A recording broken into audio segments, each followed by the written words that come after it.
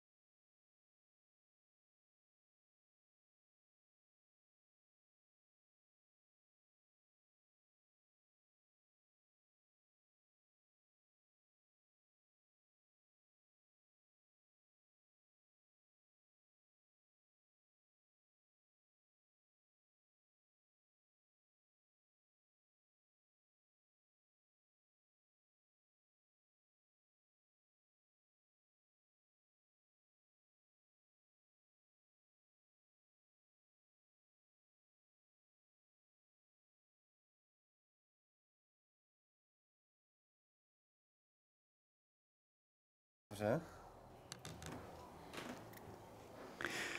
Dobrý den, dámy a pánové. Vítám vás tady na další pátečnické přednášce. Na úvod, ještě než začneme s čímkoliv dalším, obligátní prozba, prosím, vypněte si nebo alespoň skište své mobilní telefony, aby nás tady nerušili v průběhu přednášky a následující diskuze. A vítám samozřejmě všechny, jak eh, ty, kteří jsou tady dneska s námi, tak eh, ty, kteří se nás dívají online přes stream. A uh, dobrý den, ještě jednou pro nové příchozí, prosím vypnout nebo skyšit mobilní telefony, děkuji. A Takže tady vítám i ty, kteří se na nás dívají online. Budeme rádi, když se na nás taky někdy přijdete podívat naživo a nebudete vždycky jenom na streamu. Samozřejmě pokud můžete dorazit tady k nám do Prahy na Přírodovědeckou fakultu, kde se naše přednášky pravidelně konávají. A už v průběhu přednášky můžete vy, co jste na streamu, klást dotazy k dnešní přednášce, potom na konci eh, budou předány dnešní paní přednášející. A samozřejmě taky dneska máme zamluvené stoly v nedaleké restauraci na Křižovatce, takže kdo chce, tak se tam s námi může po skončení přednášky a oficiální částky diskuze přesunout. Co se týče příští přednášky, tak příště to bude takový trošku složitější, protože je 12. dubna a jak vy, kteří se zajímáte o techniku a konkrétně teda o kosmonautiku tušíte, tak 12. dubna se v tomto oboru odehrálo několik zásadních událostí. Jedna, který let prvního člověka do vesmíru Yuri Gagarina a také let prvního amerického raketoplánu Columbia. Oboje tedy bylo 12. dubna, takže obě tyto události si příští týden připomeneme, když se zapojíme do celosvětové akce Noc Jurie Gagarina. Takže od, sedm, eh, od 17 hodin bude mít přednášku Miloslav Špecián. Ta přednáška ponese název eh, Gagarin prokletý vítěz. A potom od 19 hodin bude mít přednášku Ondřej Šamárek. Eh, ta přednáška ponese název Nejodvážnější let v dějinách a ne poprvé na křídlech do vesmíru. Takže příští týden, prosím, se připravte na poněkud delší program, protože ne, nejdříve skončíme ve 21 hodin. Ondřej Šamárek sice tvrdí, že to stihne tu přednášku za dvě hodiny, ale uh, jsem tím nezabije, že to tady řeknu takhle veřejně, já mu to ani trochu nevěřím, takže, uh, takže uvidíme teda nakonec, uh, na jak dlouho to bude. A uh, přemýšlím, jestli jsem, zap... ale tak když, to, když tak řeknu další, věc, další věci, když tak řeknu až potom, takže uh, teďka už teda nebudeme zdržovat, a dovolte mi, abych tady přivítal naši dnešní přednášející, paní Lucie Tungul. Dobrý den. Dobrý den. A uh, paní Lucie Tungul je česká politoložka, která pracuje na právnické fakultě Univerzity Palackého v Olomouci. A uh, je to expertka na Turecko, takže jsme se domluvili dneska, že, že si teda povíme o Turecku. Původně teda ta přednáška uh, měla být ke stoletům Turecké republiky, ale protože tady musela být odložena, tak jsme se dohodli právě na tomto termínu, protože jak možná někteří z vás víte, tak eh, právě před pár dny byly v Turecku volby, takže možná i k ním se tady dneska dostaneme. V každém případě teda uh, si budeme dneska povídat o Turecku, takže já moc děkuji, že jste přijal naše pozvání a rád bych vám předal slovo. Děkuji, já moc děkuji za pozvání. Jsem poprvé na Přírodovědecké fakultě Univerzity Karlovy, takže vám moc děkuji za tu příležitost. Um, já, než se dostaneme k tomu, co vlastně je to téma, proč jsme ho vybrali, tak jak jsme ho vybrali, tak jenom kratince, jak jsem se k tomu vlastně dostala, protože v České republice není úplně mnoho lidí, které by se jako vyloženě Turecku věnovali, vlastně ani já ne. Eh, moje původní zaměření byla evropská studie a tam jsme se vlastně jakoby postupem dostala k tomu tedy, že jsem se začala věnovat Turecku. A to skrze to, že jsem se zaměřila hlavně, eh, když jsem končila, eh, končila vysokou školu, tak jsem se zaměřila na vstup těch zemí střední Evropy. Řešila jsem právě mimo jiné i otázku jejich identity, jako otázku toho vlastně, kam patříme, jak se vůbec formuje celá ta diskuze o tom, proč ano a proč ne. A když eh, jsem potom dokončovala doktorát, tak se vlastně zrovna zahajovala jednání o vstupu Turecka, nebo se oficiálně zahajovala ta jednání. A já jsem tehdy um, měla takový pocit, že i ta představa vlastně o těch zemích střední Evropy se v té zahraniční literatuře často odráží z nějakých představ než z reality. A že ta třeba doporučení potom, uh, různé politiky spíš odpovídala tomu, jak si, si ti badatelé mysleli, že to tady je, a ne tím, že by vyloženě věděli, jak to tady je. Často srovnávali ty čtyři země, hledali tam spojitosti, které byly naprosto nahodilé, často vůbec nedávaly smysl a hodně se dívali na to, co mají společného a vlastně ignorovali ty rozlišnosti. Mě to tehdy strašně iritovalo. Pustila jsem se do několika velmi kritických uh, recenzí na zahraniční knihy. Naštěstí uh, mý pozdější kolegové ke mně byli velmi vstřícní a milí a brali to jako takové to nadšení uh, doktoranda, který má pocit, že může cokoliv. Um, ale zároveň jsem vlastně tehdy odjela do Turecka na konference úplně náhodou dvě za sebou, které se jedna z zabývaly vstupem Turecka do Evropské unie a tím celým procesem a zjistila jsem, že pokud chceme vlastně vědět více o té zemi a kam potom bude procent, celý ten proces směřovat a třeba jaká by měla být česká politika, jestli by měla podporovat nebo ne Turecko jako členskou zemi Evropské unie, tak je prostě potřeba tam zůstat více, než tam odjedná pár konferencí nebo si tam udělat krátký badatelský pobyt, a protože mi zrovna náhodou nabídli místo na katedře, která se zabývala mezinárodními vztahy, tak jsem tam odjela a pak jsem tam zůstala 12 let. Já jsem tam vlastně byla to celé období jakoby toho otevírání a těch jakoby opravdu intenzivních jednání.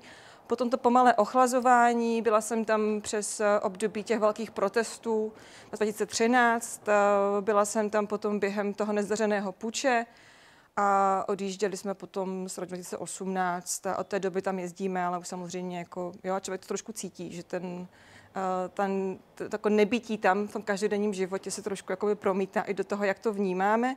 Zároveň ale výhodou, že máme určitý odstup, nebo teda já mám určitý odstup, protože tam člověk prostě není, není každý den. Ale ten hlavní důvod byl v tom, že jako politolog v zemi, která je stále více nesvobodná, se vám velmi těžce žije a pracuje protože v rámci toho mého oboru je to prostě problém. V rámci, já jsem to říkala během vlastně toho krátkého rozvodu, co před 14 dny, to není úplně o tom, že byste nemohli psát nebo že by vám nějakým způsobem jakoby bránili ve vaší práci. Spíš je to o tom, když se potom třeba máte vyjádřit někam pro noviny, a někde to je prostě vidět. Jo, to, že napíšete odborný článek, to tím mý kolegové, kteří tam zůstali, všichni píší, píší je velmi zdatně, velmi erudovaně, píší je velmi často kriticky jenomže uh, to je něco jiného, protože ty odborné práce si přečte určitý malý okruh lidí, zatímco dát rozhovor do Financial Times je docela jako velký rozdíl v tom, kam všude to dojde. Takže tam potom narůstá ten pocit jakoby autocenzury, a jako někdo, kdo jsem narodil 77 v Československu, jsem si jako nepřála dobrovolně si zvolit život politologa v zemi, která prostě není svobodná. A Turecko dnes svobodné není. Zároveň ale, a to nás vlastně potom vedlo k tomu tématu, Eh, my Turecko tady často vnímáme zase velmi jednostranně. Často se zaměřujeme právě na ty problémy, které tam jsou a ten pohled na tu zemi a tím pádem třeba i vyhodnocování těch, eh, těch událostí, které se tam dějí, jsou velmi um, ne, nedostatečně popsané. Je jasné, že když máte v rádiu čtyři minuty, abyste se vyjádřili k tématu, případně v lepším případě 10 minut na to, abyste se vyjádřili k tématu. Někoho je třeba spor s Řeckem, tak to prostě nemůžete nikdy pokrýt tak, aby z toho bylo jasně patrné, co se tam vlastně děje. A potom to vždycky skončí na popisu těch událostí, tak jak teďka zrovna jsou, co znamenají, ale vůbec třeba ne k pochopení uh, toho, kde jsou ty kořeny. A u většiny těchto problémů a dlouhodobých konfliktů je prostě historie tím asi nejdůležitějším bodem k pochopení třeba i toho postoje potom té země, nebo jak my potom se tomu máme stavět jako, česká, jako Česká republika, jako členská země Evropské unie, jako členská země NATO a podobně, kde samozřejmě Turecko je také velmi důležitým hráčem. Takže to téma jsem volila, jak jsme říkali, původně měla být vlastně v době výročí z tého výročí Turecké republiky, které tedy eh, navazuje a zároveň zcela popírá svou minulost eh, jako nástupce Osmanské říše. A od té doby vlastně soupeří pořád s tím, jestli je nebo není evropskou zemí. Často je to potom v tom pohledu toho, že je takovým tím enfant terrible Evropy, kdy není ani dost azijská země, ani dost evropská země. Je někdo, kdo tam jakoby patří a zároveň tam nepatří. Stejně jako to bylo u té osmanské říše, která, což se podle mě v tom českém potředí ví velmi málo, ty své evropské državy vnímala vždy jako ty klíčové državy. Osmanští sultáni se vždy považovali za evropské vladaře. Když Fáty dobil Cařihrad, tak se vlastně považoval za nástupce římské říše a jeho původním cílem bylo dobít nejen Cařihrad, ale i Řím a původně vlastně chtěl znovu sjednotit tu římskou říši a měl tedy on být tím panovníkem. To se mu nepovedlo, to víme, do Říma se nedostal, ale rozhodně se takto vnímal a vlastně i ti všichni jeho nástupci od toho 15. století dále se vždy považovali za evropské vladaře a pro ně opravdu ty, ty evropské državy byly tím srdcem a jádrem osmanské říše. Když potom vzniká republika a její první prezident, tedy Mustafa Kemal, kterého známe jako Ataturk, Eh, tu republiku zakládá, tak on také získal vlastně své vzdělání eh, na Balkáně. On se také obklopoval hodně lidmi, kteří měli své kořeny v Evropě, lidmi, kteří studovali ve Francii a zase to zemi směřoval k tomu, že to tedy je evropská země. Zároveň ale, jak se potom vysvětlíme taky proč, od počátku uh, tu tureckou historii jako evropské země provází obrovská nedůvěra k západu.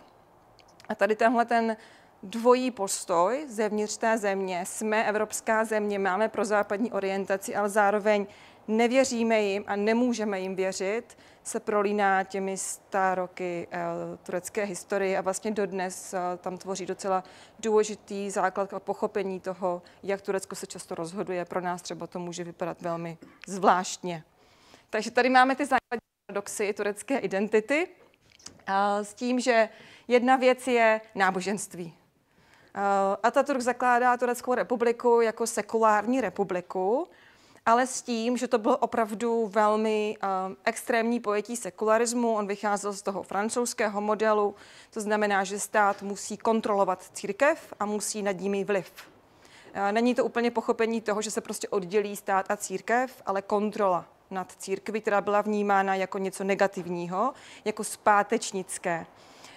V tomhle celém procesu bylo zajímavé třeba to, že on se dokonce pokoušel islám poevropštit, a to třeba v tom smyslu, že měl původně v plánu, jestli navštívili mešity, tak tam samozřejmě nejsou žádné lavice, on je tam chtěl zavést. Jo, on prostě chtěl z mešit udělat vnitřkem podobu kostelu, že tam prostě budou ty lavice a všichni tam budou sedět a bude to vypadat podobně. To tady nakonec eh, neprošlo a, a nestalo se tak. Uh, on opravdu vnímal náboženství jako věc, která vlastně to, to Turecko táhla zpátky a proto vytváří ten opravdu velmi tvrdě sekulární stát. Co se z pohledu toho dnešního Turecka je tohle strašně důležité, protože po desítky let lidé, kteří byli praktikujícími pravověrnými muslimy, byli vlastně vyloučeni z toho veřejného života. Tady potom eh, šerif Madin v 80. letech, a vlastně ještě dřív, eh, vydává publikace, které krásně popisují to rozdělení na centrum a periferie v Turecku, kde právě často ta víra byla tím znakem periferie, kde se vlastně vy nedostáváte eh, k centru moci. Dokonce v turecké armádě, když vás tedy přijmou za důstojníka, tak kontrolovali kolena, a to proto, aby věděli, jestli se modlíte nebo nemodlíte. Jo, bylo naprosto nepřijatelné, aby někdo, kdo je uh, praktikující muslim, byl uh, důstojníkem turecké armády právě kvůli tomu, že Ataturk vytvořil armádu jako toho strážce sekularismu uh, v Turecku. Zároveň samozřejmě ale máme miliony lidí, kteří v Turecku žijí, kteří jsou praktikujícími muslimy a kteří jsou tím pádem vyloučeni z toho veřejného života. On vytvořil takový model, jak má vypadat správný turecký občan. Takže zakázal fes a nařídil klobouky. Zakázal tradiční oděv a nařídil oblek, kabát a klobouk. Zakázal ženám Eh, se zahalovat a opět vlastně prosazoval ten model evropsky vyhlížející ženy. Tady je ale strašně důležité, a to je jedna z těch velkých chyb, které často děláme, já se potom ženám ještě dostanu, že se často díváme na ten vzhled a ne to, co je vlastně za tím vzhledem. To, že někomu změníte to, jak se obléká, ještě vůbec neznamená, že změníte jeho způsob myšlení, anebo uh, ty hluboce zakořeněné kulturní prvky, které té společnosti jsou, která samozřejmě ovlivňuje to, jak my vnímáme sami sebe, jak vnímáme ten svět kolem sebe. Všichni víme, že změnil abecedu, nebo asi to víte, že změnil abecedu, takže se jednoho dne probudíte a zjistíte, že nepřečtete nic, protože už to není napsáno v, v tom písmu, teďka bych to řekla asi špatně, to totiž není, Turecko není arabská země, uh, nicméně v tom písmu, které my nepřečteme, a máme latinku. Což pro ty lidi je stejné, kdyby se to stalo opačně vám. Se prostě jednoho dne probudíte a všechno je psáno v písmu, které neznáte. Zase v přístupu těch lidí do veřejného života je tohle velmi silné omezení. Ty vzdělané elity samozřejmě mluvili francouzsky, uměli číst eh, v latince a pro ně to problém nebyl, ale pro velkou řadu tureckých obyvatel to samozřejmě problém byl. Spousta velmi hlubokých změn, které vlastně prováděl s tím, že on přesvědčen o tom, že to je ta cesta, kterou Turecko má, má jít, protože byl přesvědčen o tom, že ten rozpad Osmanské říše byl způsoben jeho zaostáváním a tím, že nebyl dostatečně rychlý v tom rozvoji jako Západ. A že když se orientuje na Západ a udělá z toho jakoby evropskou zemi, tak tím pádem se znovu nastartuje jakoby síla a sláva eh, teď už tady Turecké republiky. Eh, takže určitě náboženství.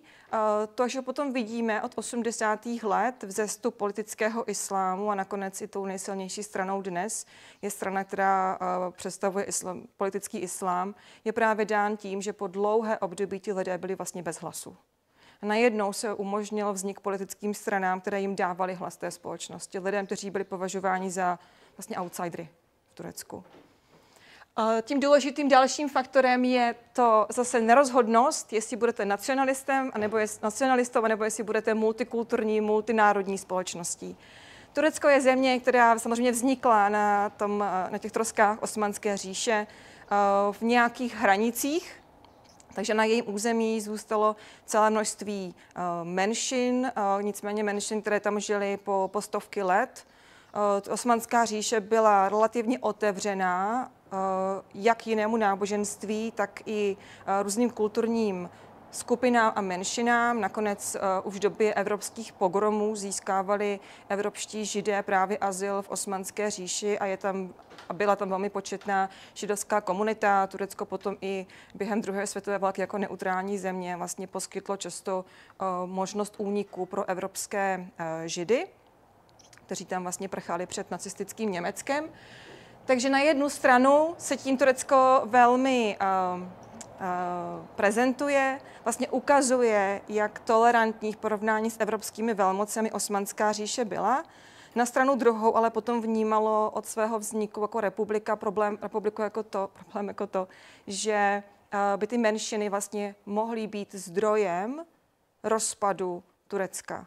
Právě jak v 19. století nastupuje uh, znáte osvobozenecké liberální hnutí a uh, vlastně v rámci těch menšin, které v Turecku byly, se různé evropské velmoci, které se snaží oslabit osmanskou říši, stávají těmi, kdo zaštiťují ty menšiny.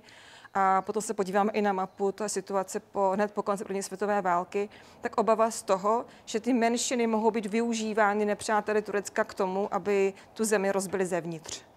Takže tam je velmi silný uh, tlak na po turečtění eh, a to se týká hlavně eh, potom těch eh, menšin, které Turecko vnímá tím, že jejich primární náboženství je islám, tedy Kurdy, jako vlastně Turky. V rámci potom také vzniku Turecké republiky bylo potřeba definovat, kdo to je Turek. Eh, v těch velkých mnohonárodních říších je totiž obvyklé, že ta, eh, ta vládnoucí nebo ta nejsilnější skupina jakoby upotlačí tu svoji identitu, aby tedy mohla vládnout všem těm, eh, všem těm skupinám, které na jejím území jsou. Ale po vzniku republiky bylo potřeba definovat, kdo to tady vlastně vůbec Turek je.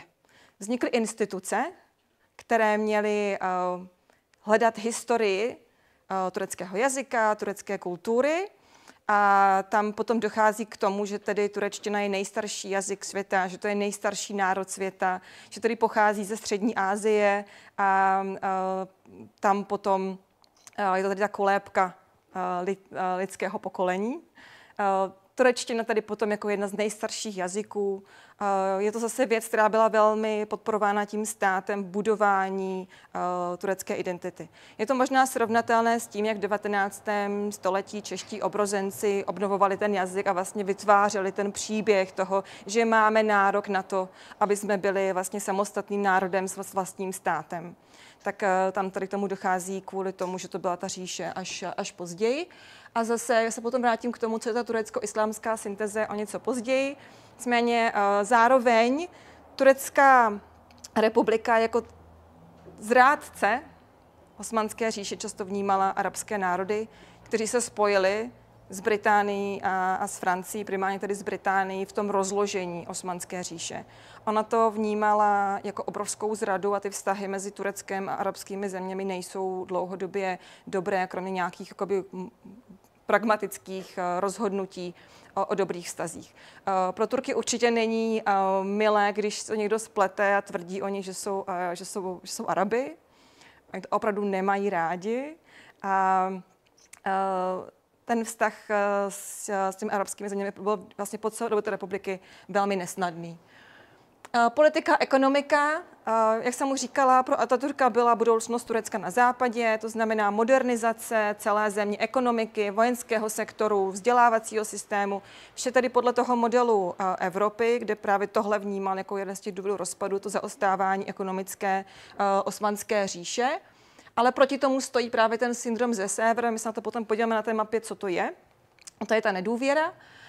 Je tam otázce statu quo, to, že se prostě nesmí změnit turecké hranice. Turecko uh, má dlouhodobě ten postoj v tom a vlastně to potom reprodukují učebnice ve školách, samozřejmě dějepisu, ale i jiné, jiná výuka v tom, že uh, spousta zemí pouze čeká na to, až bude Turecko slabé, aby ho stejně jako po té první světové válce mohla rozbít a rozdělit si ho. Jo, my to vlastně dneska i často slyšíme v těch projevech prezidenta Erdoana. Ten to hodně uh, odkazuje. A tím tedy potom myslíme právě ten syndrom ze sévr, kdy oni čekají, až přijdeme do nějakého slabé chvíle a vezmou si nás. Jejich zahraniční politiku tím pádem velmi definuje pragmatismus. Eh, Turci jsou lidé, kteří jsou velmi, velmi pragmatičtí eh, v tom, jak volí v každodenním životě, ale také eh, třeba jakou primárně sledují zahraniční politiku. A pak jeho poloha. Turecko je jak eh, vítězem, tak eh, poraženým s ohledem na svou geografickou polohu. Ta, ta poloha té země je velmi podstatná. Tohle je Osmanská říše. Já se ještě trošičku podívám na tu dnešní polohu. Tak to jsou té hranice Turecka, tak jak tady jsou, jak, jak je dnes, s tím, že na jednu stranu máte obrovsky důležitou polohu, Nejenom tím, že prostě ležíte mezi východem a západem, takových, a mezi Evropou a Ázií, takových zemí je tam více, ale kvůli tomu, že kontrolujete, kde to tady je? Úžiny. Um, tohle je pro pochopení vztahu Turecka a Ruska je tohle naprosto klíčový moment, protože když se podíváte, já tam později mám i celou mapu světa, když se podíváte na, na Rusko, tak navzdory jeho obrovské velikosti, pro něho vlastně přístup k obchodu přes přes vámořní dopravu vede pouze, kde to mám? Aha, mečkám blbě tady. A vede pouze přes tyhle ty dvě úžiny do středozemního moře. A ty úžiny kontroluje Turecko. Smlouvou z Monte 1936 má Turecko plnou kontrolu nad úžinami. Dokonce po druhé světové válce se Sovětský svaz snažil získat kontrolu nad úžinami a využít své mocenské pozice k tomu, aby se ty úžiny staly vlastně místem, které bude kontrolovat Sovětský svaz. Je to jeden z těch hlavních důvodů, proč eh, potom vznikla Trumanova doktrína, eh, proč vzniká Marshallův plán a proč Turecko a Řecko byly navzdory tady tomu nedemokratickému zřízení, které tam bylo velmi brzy přijaty do NATO. A jako vlastně eh, obrana Evropy a toho západního světa před rozpínavostí Sovětského svazu. Takže na jednu stranu, aha, blbě, uh, na jednu stranu máte velmi důležitou kontrolu, ležíte samozřejmě mezi uh, zeměmi Blízkého a Středního východu a Evropou, což všechno z vás dělá strategicky extrémně důležitou zemi, ale zároveň také zemi, která je velmi exponovaná v případě každého neklidu, každé změny která se týká celého toho širokého regionu tady. A vidíme samozřejmě, že sousedí se zeměmi, jako je Irán, jako je Irák, jako je Sýrie, je tam velmi blízko potom Izrael. A jsou prostě místa, která po většinu historie Turecké republiky byla velmi nestabilní a neklidná. A Turecko proto často vnímá svou roli jako toho, kdo vlastně chrání Evropu před tím neklidem, případným nebezpečím, které přichází z těch eh, oblastí, které jsou prostě nestabilní. Zároveň to ale také pokládá, takže ta nestabilita těchto oblastí je ta, která vlastně, kterou nám přinesla právě Evropa a často evropské koloniální říše. Tady je trošku zajímavé, že Turecko navzdory tomu, že to byla říše, obrovská říše, osmanská říše, tak samo sebe vůbec nevnímá jako koloniální velmoc. Naopak se vnímá jako zemi, která bránila uh, tomu negativnímu, co sebou kolonialismus přinesl. Já tím teda zpátky na ty uh, mapy. Tak, tohle je Osmanská říše, jenom pro představu, kam až sahala, což tedy ovlivňuje potom vztahy Turecka s těmi zeměmi, ale také, jak vlastně vnímá svou historii, ale také potom to, co dnes, nebo tady v těch posledních 20 letech za vlády Erdoganovy strany AKP byla nazývána ta politika jako by neosmanství, ottomanism, kde se snažili budovat kulturní, ekonomické a politické vazby na ty země, které kdysi byly součástí osmanské, osmanské říše. Takže ta světlejší část je rok 1683 a potom ta tmavší část je před začátkem první světové války 1914, kdy už tedy uh, Turecko přišlo, Osmanská říše přišla o velkou část těch území ve Středomoří a také o, o Bulharsko, uh, a, nebo to, co dneska známe jako Bulharsko a samozřejmě Řecko. Na těch stazích s Řeckem je velmi důležité pochopit to, jak ty dvě země vykládají ten příběh svého vzniku. Zatímco Řecko, Uh, když pomineme tedy starověké Řecko, tak uh, vznik, uh, nebo znovu, nebo samost, nezávislost Řecka v 19. století je právě, právě na jako příběh boje proti tomu opresivnímu zřízení Osmanské říše, zatímco ten turecký příběh je tento příběh. Že po eh, konci první světové války si uh, vítězné velmoci rozdělí Osmanskou říši a Turecko na tahle ta území. To je vlastně smlouva z 1920, uh, kdy z té celé Osmanské říše nám tam zůstává ta žlutá část a zbytek toho dnešního Turecka italskou zónu, řeckou zónu, francouzskou britský mandát, velká část potom severovýchodního Turecka připadla Arménii. Takže to je vlastně to, co, tomu, to, co vlastně zůstalo. A to potom tedy, oh, pardon, opačně, aha, opačně, tak, vedlo k, k té válce, která tady potom překreslila tu mapu a vedla k jinému vzniku jiné, státu, tedy v jiných hranicích. Eh, tady máme to, jak tady se to eh, v Turecku eh, vysvětlovalo. Tady máme ty velmoci, které tam stojí a trhají si každý kus, kus osmanské říše pro sami pro sebe. A zároveň tedy, když tady dochází k tomu rozdělení po první světové válce, tak povstává tedy Mustafa Kemal a s ním tedy ty vojenské jednotky se přidávají k tomu lidé vlastně z území toho víceméně dnešního Turecka k tomu, aby um, aby vyhráli zpět ta území, protože Řecko se snažilo té situace využít k tomu, že zaútočilo vlastně asi další oblasti uh, toho západního Turecka a počítalo s tím, že mu pomůžou ty velmoci. Nicméně jak Francie, tak eh, Británie měly tehdy úplně jiné starosti a Řecku nepomohly, ani Itálie, takže vlastně v té válce proti Řecku uh, Mustafa Kemal vybojoval ta území zpět, plus tedy části území, která původně tady připadla uh, Řecku, a to hlavně oblast Smyrny, tady Izmiru v turečtině. A výsledkem je potom ta mapa tak jak ji vidíme tady. Víceméně, ona ještě nebyla úplně přesně takhle, ale víceméně v tomhle. Takže i ten turecký příběh vzniku Turecké republiky je vlastně postaven na tom, že získali potom, jak si je rozdělili a rozšlapali celou tu říši a nechali jen to malé území, že si to vydobili zpět na Řecku. No, to je ten příběh. Takže tím primárním nepřítelem po smlouvě ze Sévr bylo Řecko. Když se podíváte na všechny státní svátky, které Turecko má, kromě náboženských svátků, tak se všechny týkají téhleté války a to Turka proti Řecku. Všechny. No. Takže v té kolektivní paměti Ataturku se vám připomíná během toho roku znovu a znovu, že to, že jsme, to, že máme stát, jaký máme, je kvůli tomu, že Ataturk vydobil republiku ze chřtánu řeků. No.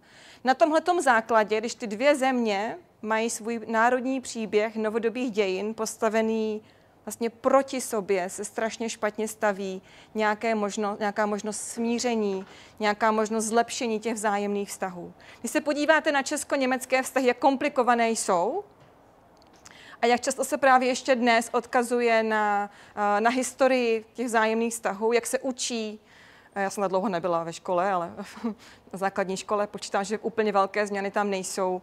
Obrozenectví a 19. století a boj proti poněmčování a za mě teda ještě doba temna, tak se vytvoří nějaký, nějaká představa o tom, vlastně, kdo jsou ti vaši nepřátelé a kdo jsou ti, kdo se vám snaží ublížit vlastně většinu té historie.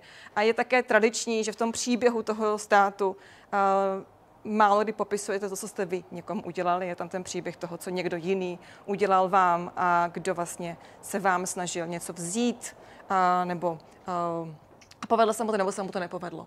Tady tou ještě důležitou věcí je, že v téhle mapě už je tady ten Sancour, což je Hataj. To je to místo, kde loni došlo k tomu obrovskému zemětřesení, tady v té oblasti vlastně mezi Tureckem a Sýrií. No, protože v tom původní, v té původní mapě připadla Hataj Sýrii. Když se podíváte na uh, mapy v Sýrii, tak Sýrie si dodnes Hataj kreslí jako součást svého území. Totiž to obyvatelstvo Hataj, oblasti Hataje, potom vlastně kolem Alepa, byla byla to prostě osmanská říše kdysi, takže byla vel, bylo velmi různorodé. Nebylo úplně snadné určit vlastně, kam by to území mělo patřit protože tam byli lidé, kteří uh, byli eh, nebyli etnickými Turky, ale mluvili turecky. Potom tam byli, kteří byli etnickými Turky, to jsou Turkmeni, část z nich ale mluvila, uh, mluvila arabsky. Potom tam byli Židé, kteří často také mluvili turecky. Bylo to velmi, uh, velmi, jako, jako, velmi etnicky různorodá oblast. A tam tedy došlo k dohodě o tom, že bude referendum, které rozhodne o tom, jestli tedy Hataj bude připojena k Turecku, anebo zůstane součástí Sýrie. A v táci toho referenda tedy byla Hataj připojena k Turecku. Zase k pochopení těch dnešních vztahů mezi Sýrií a Tureckem není to jediný důvod, ale je to rozhodně jeden z těch faktorů, který do toho vstupuje. A když tedy Turecko vlastně eh, žádalo, aby v rámci tedy toho boje proti islámskému státu a potom občanské válce v Sýrii mohlo kontrolovat tu severní hranici, tak to částečně vycházelo i z té obavy, že si vlastně Sýrie nárokuje některá turecká území a obavy z toho, že by k tomu mohlo dojít.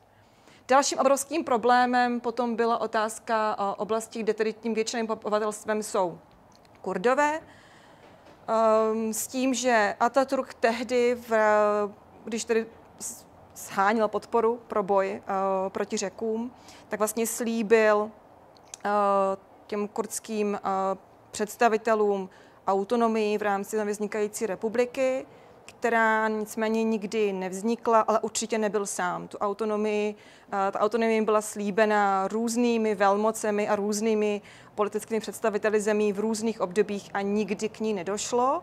Ale právě kvůli tomu, že to kurdské obyvatelstvo žije jak na území Turecka, tak Iráku, Iránu, tak ty snahy zase o, o autonomii jsou těmi tureckými nacionalisty často vykládány jako obavy z toho, že by se ta země potom mohla rozpadnout, že by se prostě mohli odtrhnout a vytvořit kurdský stát. Turecko je kvůli tomu i velmi uh, opatrné, nehostně se staví k možnosti nějaké federalizace. Je to obrovská země s 80 miliony obyvatel. Vlastně by dávalo smysl, aby to byla federace z pohledu politického řízení, které bude efektivnější, ale právě ta obava z toho, že federalizace by mohla vést ke konfederaci a potom k rozpadu, je ten důvod, proč je to silně centralizovaný stát.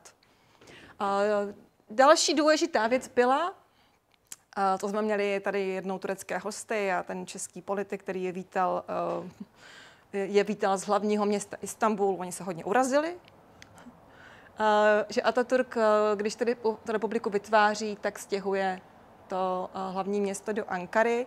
Ta tehdy byla malinká, byla tam v podstatě jedna hlavní třída. Nicméně Istanbul vždycky byl, stále je ekonomickým a kulturním centrem celého Turecka. To stěhování do Ankary mělo právě oslabit možnou, možnou snahu vrátit zpět sultána. Ataturk tedy vlastně ukončil chalifát, a tedy sultán a celá jeho rodina odchází do vyhnanství ale samozřejmě tím, že to hlavní sídlo bylo v Istanbulu, tak tam měl velké množství spojenců a byla obava právě z toho, že by mohlo dojít nějakým pokusům o změnu toho režimu a pokusit se získat tedy zpět eh, to místo pro sultána.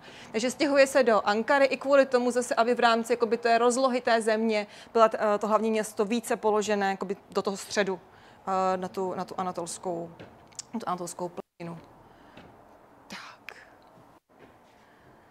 Jak jsem mu říkala, náš problém je často v tom, jaké Turecko reálně je a jak my si ho představujeme. Nebo co o něm prostě víme. Uh, ty představy vychází nejčastěji uh, z těchto tří uh, nějakých na sebe navazujících příběhů o říš, Osmanské říše a Turecka. To je je um, Turecko jako nepřítel Evropy, jako nepřítel křesťanství. Je to věc, která nejenom uh, něco, o čem se vlastně učíme ve školách, tak je to i věc, která je docela silně pro špik, to vlastně prošpikovala tím kulturní uh, kultura. Uh, já jsem četla hned několik studií, které třeba ukazovaly na to, jak k tomu vnímání turecké jako nepřítele přispívají třeba Shakespeareovské hry jo, kde uh, se používá slovo Turek jako synonymu uh, k Maurovi, uh, ke komukoliv, kdo je vlastně nepřítelem. A bylo to vnímáno to jako by synonymum, to nebylo jako nějaké rozlišení, které by tam mohlo být. Takže tím, jak vlastně konzumujeme v tom našem prostředí, kde je to Turecko nám ukazováno jako, jako, ten, jako ten nepřítel, jsou to ty příběhy, které známe v České republice o štramberských uších. No. to, že já jsem třeba vůbec toho nevšimla, až jsem potom tady měla zase turecké hosty a jsme na hradě Bouzo, jak jsem z Olomouce, tak eh, to tam je nejblíž. A tam byly ty, eh, tam měli před válkou němečtí rytíři, a tam byly ty terče, na kterých se učili střílet. A ty terče byli osmanští Turci ženy, teda mimochodem, to jsem se taky řečím nikdy nevšimla, tam byla taková jako děvečka v poli a, a potom ten osmanský turek s tou šavlí. A oni se tomu smáli, samozřejmě spíš se ptali, proč to tam ta ženská, jestli se učili střílet do žen. Um, vlastně je to spousta věcí, kterou si vůbec neuvědomuje, neuvědomujeme, která kolem nás je, která ale formuje to, jaký postoj k té zemi máme. Tím druhým, a to je to dědictví 19. století, je potom právě ten nemocný muž na Bosporu. Eh, jeho ekonomická situace Osmanské říše, jeho upadající vojenská síla, ehm, vlastně to, eh, že vydržela Osmanská říše tak dlouho, bylo do značné míry dáno právě tou politikou eh, Británie, která vyvažovala to, aby ani jedna z těch okolních říší neměla dostatečně navrh, aby vlastně nedošlo k tomu, že se pokusí odtrhnout části osmanské říše a tím získá větší, eh, větší sílu a váhu, třeba právě vůči ohrožení potom eh, těch zájmů Británie. Takže nemocný muž na Bosporu. Víte, že i dnes se to objevuje v novinových titulkách. Když se řeší dnešní špatná situace turecké ekonomiky, tak velmi častým titulkem je Nemocný bož, muž na Bosporu. Jo, zůstává to pořád v tom, eh, v tom každodenním diskurzu i lidí, kteří vlastně o Turecku neví vůbec nic. Jo, ale tohle to prostě ví téměř každý. A posledním, a to se netýká úplně České republiky, ale toho eh, ale spíše západní Evropy, a to je turecká pracovní síla. Ti lidé, kteří vlastně přichází do Evropy, často se, my víme se, že o Německu, ale těch zemí bylo výrazně více, Rakousko, Nizozemí, Francie, v 60. 70. letech, kdy byl nedostatek pracovní síly a vlastně přichází tedy lidé z Turecka. K tomu je velmi důležité zase pochopit, kdo přicházel, protože to byla levná pracovní síla. Přicházejí nejčastěji lidé z východní Anatolie, ze střední Anatolie, lidé, kteří měli nízkou kvalifikaci, patřili k lidem, kteří byli výrazně sociálně třeba slabší než ty elity. Přece jenom jako, hledala se pracovní síla, která naplní práci v továrnách. Nehledali se lékaři a přírodověci a politologové. To zásadně formovalo potom tu, uh, tu povahu té turecké diaspory v těchto zemích. A je tam obrovský rozdíl, když se podíváte na tureckou diasporu, která přichází v těch 60. 70. letech a potom tu druhou vlnu v 90. letech a teď máme tu třetí vlnu. To jsou úplně odlišné vlastně struktury uh, lidí, protože i ty důvody, proč opouští Turecko, jsou jiné těch zemích původně cílem bylo, že ti lidé mají přijít na přechodnou, na přechodnou dobu, dokud bude potřeba pracovní síly a potom se prostě vrátí do Turecka zpátky. Oni s tím taky takto, uh, takto přicházeli. Uh, postupem času si Turecko vybudovalo svou vlastní jakoby, politiku, jak uh, s tou nemalou populací, která žije v zahraničí, komunikovat a udržet ty vazby na Turecko i kvůli tomu, že ty takzvané remittances, peníze, které posíláte zpět do své domovské země, včetně investic a podobně, byly uh, docela zásadní určité období uh, částkou toho tureckého, uh, tureckého rozpočtu. Nicméně ty země postupem času zjišťují, že to nebude tak snadné a umožňují potom vlastně sloučení rodin a potom nám zůstává z toho ta trvalá diaspora. Co se týká muslimů v Evropě, tak kromě Maroka je ta turecká diaspora největší v Evropě. Je to opravdu obrovská, velmi silná uh, skupina, ale zase by bylo milné považovat za nějakou jakoby jednolitou, jednolitou skupinu lidí. Jsou tam obrovské rozdíly, jsou tam obrovské rozdíly, odkud přišli, z jakého důvodu přišli, uh, jaké mají vzdělání, jak jsou integrováni do té společnosti, nakolik mají vazby s Tureckem. A rozhodně je velká chyba je vnímat prostě jako, jo, Turek v Evropě a všichni jsou, jsou na, tom, na tom stejně. Jejich vliv je určitě nemalý v rámci toho, že formují nejenom potom tu domácí politiku, ale vlastně formují potom i třeba postoje těch uh, zemí, ve kterých žijí uh, na, vůči Turecku, nebo když se o to, o to pokouší. Až do nedávna Turci nemohli volit ze zahraničí, takže ta kampaň třeba volební neprobíhala v těch zemích, kde žili. Oni museli přijet na tu hranici, tam odvolit a pak se mohli vrátit zpátky. To bylo umožněno až relativně nedávno, se samozřejmě potom mění tu dynamiku zase těch volebních kampaní. Ale k tomu, když se podíváte na výsledky, ano, se to hodně během těch prezidentských voleb loni řešilo, jak je to možné, že ti lidé, kteří prostě žijí v Německu, v Rakousku, nevolí, že Rakousko nemá dvojí občanství, nizozemí a vlastně mají život, které jsou spokojení, proč volí Recepa Tayyipa Erdoana. A pak, když se podíváte na evropské země a srovnáte je všechny, kde žije nějaká turecká komunita, včetně třeba České republiky, tak vidíte obrovské rozdíly. Jsou země, kde třeba podpora uh, Erdoganovy strany byla 70%, 65% a potom zase země, kde byla 5%. No. A teď jako pochopit o to, proč. V případě třeba toho Německa je to rozhodně o tom, že uh, Německo vlastně umožnilo až za vlády Gerharda Schrödera těm lidem získat občanství německé. Celá řada uh, tureckých německých, tureckých muslimů má pocit, že vlastně pro ně neexistuje žádná politická strana. Že CDU pro ně není stranou, protože prostě nepovažuje, protože to je demokratická strana. Oni jsou věřící, a jsou, jsou věřící, tím pádem zase některé jiné strany jsou pro ně stranami, které prostě volit nechtějí.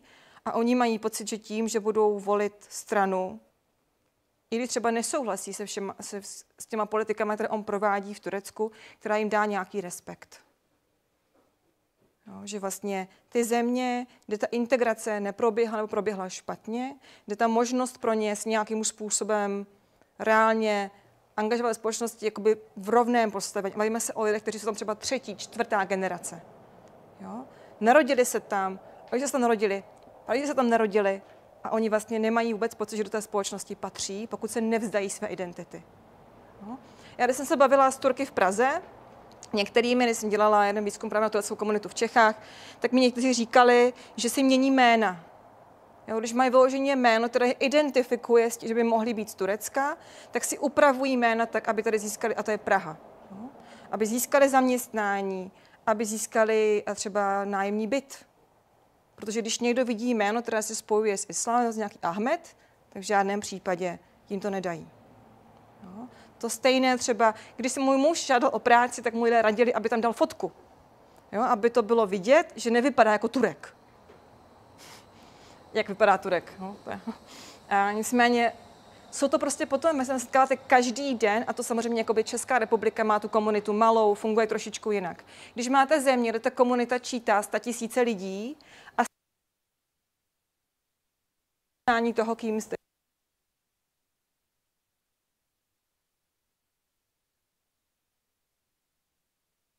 proti, proti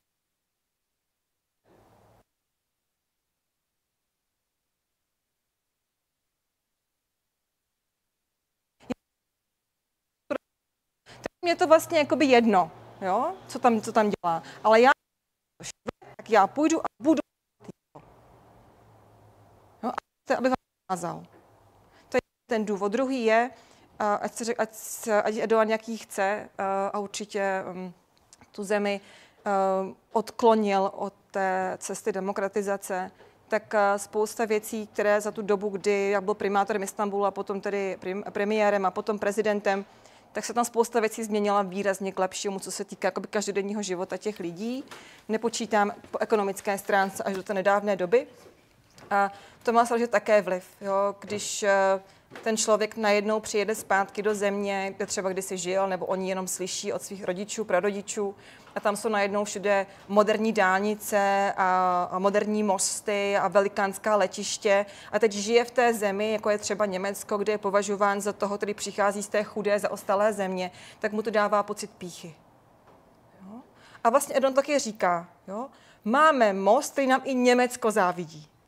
Jo, takové to neustále odkazování vlastně na to, my tam chceme být, oni nás tam nechtějí, tak my jim uděláme něco na truc. Když to hodně zjednoduším samozřejmě. Jo, ten pocit jakoby z neuznání, který tam, uh, který tam často je. Tak, to je ta naše představa. Takže tady máme toho výbojného Turka.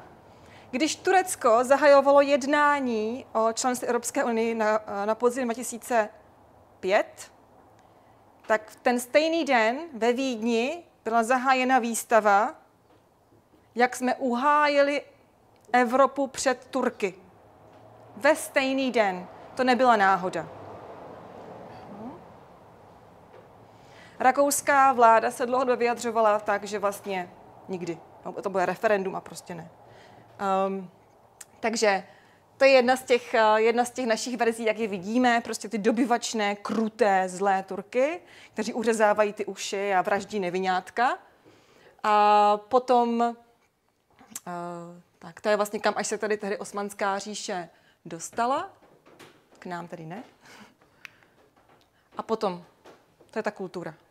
Se podíváte, zase mě to docházelo až potom časem, jo, když jsem se potom na ty pohádky dívala. Moje děti to samozřejmě vnímají mnohem silněji než já, protože um, s tou dvojí identitou vyrůstají od malinka. Um, takže Karel Čapek, nakolik si ho vážíme, tak drvoštěp. No. Osmanská říše, do které spadaly i arabské země, kde máme jedny vlastně z zásadních objevů vědy. Byla popisována v pohádce jako ti, kdo neznají lékaře, a když narazí na drvoštěpa, tak si myslí, že to je nějaký doktor. No. Ta představa, kterou máme zase jo, v tom, ve třech veteránech, korupce, podvádění, zloděj, krádež. S tím se potkáte na východě. Jo, a tam prostě přichází ti tři dobří lidé, všechno jim ukradnou a oni je potom přelstí. Těch příkladů máme obrovské množství, které bychom si mohli projít. Je určitě zajímavé se potom na to jakoby dívat zpětně a když to jako vidíte, si vlastně uvědomit, jakým způsobem my konzumujeme tu představu o tom, jaká ta druhá země je a, a jak třeba to potom ovlivňuje naši představu o tom. Kdysi se řešilo, že by lidé hodně cestovat, tak um, poznají jiné národy a budou více otevření. Um, Badatelé, kteří se tomu věnují, došli k přesně opačnému závěru. Lidé, kteří cestují na relativně omezený krátký čas, se naopak utvrzují uh, v těch představách, které mají, protože když třeba přijedou do té země na ten týden, na 14 dní a nejsou se nějaký rezort, prostě nějaká jako třeba poznávací, poznávací zájezd, tak se soustředí na ty prvky, které potvrzují to, co si o té zemi už myslí. A to, co vlastně vyvrací tu jejich představu, tak to oni úplně jakoby upozadí. Takže ono to funguje jenom ve chvíli, kdy o té zemi nemáte žádnou představu. A přijde opravdu s tím, že nevíte, co si o tom máte myslet, nevíte, co máte čekat a potom, no, um, potom to může, může fungovat lépe. Tak ty pohádky mám ráda. Díváme se na ně. To rozhodně platí u žen. No. Jedno z velkých témat jsou ženy.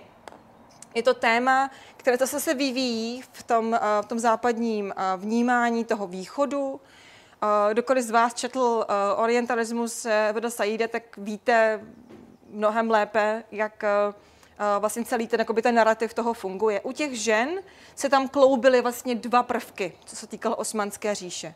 Jedna věc byla takové jako sexualizování těch žen, které byly, které byly zahalené a vlastně byly schované tomu oku toho vnějšího návštěvníka a potom uh, potřeba jakoby vzdělávat ty ženy a osvobodit ty ženy. Jo, kdy tam přichází ty, um, ty britské, francouzské uh, cestovatelky a mají vlastně potřebu vysvětlovat těm, uh, těm osmanským ženám, jak žijí zaostale a špatně a že mají žít jako oni. Tady ten dvojí přístup nám docela jako hodně zůstává až do současnosti, kdy pořád máme tu potřebu vlastně poučovat ty ženy o tom, že my víme lépe než oni, uh, jak mají žít, hlavně co si mají oblékat. Tady máte několik různých fotografií, které jsou všechny z Turecka. A já se u každé na chvilinku zastavím. Moje oblíbená je samozřejmě ta, která je uprostřed nahoře. A to kvůli tomu, já jsem to zmiňovala v tom krátkém rozhovoru, eh, kdy máme často takovou fotografii, která se z nějaké té země vytáhne z nějakého období a řekne se, takhle to bylo dřív. A potom vám ukážou ženu vlevo a řeknou, a teď to je takhle. No? A z toho máme všichni vyvodit automaticky, že dřív se měli výborně a teď se mají zle. Jo, a že my je musíme osvobodit od toho šátku. Um, nicméně tohle to všechno je, je Turecko. Já se u každého na chvilinku teda zastavím. Uh, ta fotka tady dole je z nějakých 40. 50. let, kdy asi podobně, jako vytvářel socialismus, takovou tu progresivní tu ženu doby, budovatelku, tak i ten kemalismus vytvářel takovou tu progresivní ženu budoucnosti. Takže kemalistická žena měla být ta, která je, uh, která pracuje, která není zahalená samozřejmě, a která je hlavně tou matkou těch eh, občanů Turecka, těch vojáků Turecka, kteří ubrání Turecko. Měla být tedy, měla vypadat jako západní žena, dokonce stejně jako tady byla taková ta literatura budovatelská, tak tam byla také o tom, jak nějaká žena prostě odjíždí z Istanbul někam na východ, tam je učitelkou, tam se setkává s těmi Eh, nedostatečně osvícenými místními lidmi, kteří jako brání v tom, aby učila, kteří nechápou vůbec, jako, jak je důležité mít sekulární stát, jak je důležité mít kemalistický stát. A ona jako hrdinka bojuje proti těm tmářům, kteří v té vesnici jsou. Takových novel jsou tam mraky, jo, které tohleto popisují a vlastně mají vytvářet toho nového člověka. Nicméně, když se potom podíváte na to samotné postavení uh, žen, tak uh, vlastně stejně jako tady vzniká takové to dvojího toho, že máte být emancipovanou, pracující, aktivní ženou, nicméně ta domácnost a celý ten rodinný svět spočívá dále na bedrech té stejné ženy, plus ale k tomu máte vyloučení z veřejného života žen, které chodí zahalené. Ještě v roce 2000, když jsem tam byla sedm, eh, jsem byla na návštěvě v tureckém parlamentu u jednoho poslance, který měl asistentku s šátkem, tak eh, se na to dívali ostatní velmi nevraživě a byl to obrovský problém. On vlastně udělal schválně tehdy. Jo, že vlastně tím, že těm ženám neumožníte studovat, neumožníte jim pracovat, tak to není o tom, že oni se toho vzdají. Vy je vlastně vylučujete z veřejného života zcela. Takže ta diskuze potom uh, před těmi víc, něco před deset, přes deset let o tom, jestli umožnit ženám, aby mohly navštěvovat vysoké školy i s šátkem, byla právě často postavena na, tom disku, na, tom, na té diskuzi o tom, že jim umožníte využít jejich práv. Že to je rozhodnutí, jejich rozhodnutí. Že jedna věc je, když je k tomu nutíte, druhá věc je, když se ta žena sama rozhodne.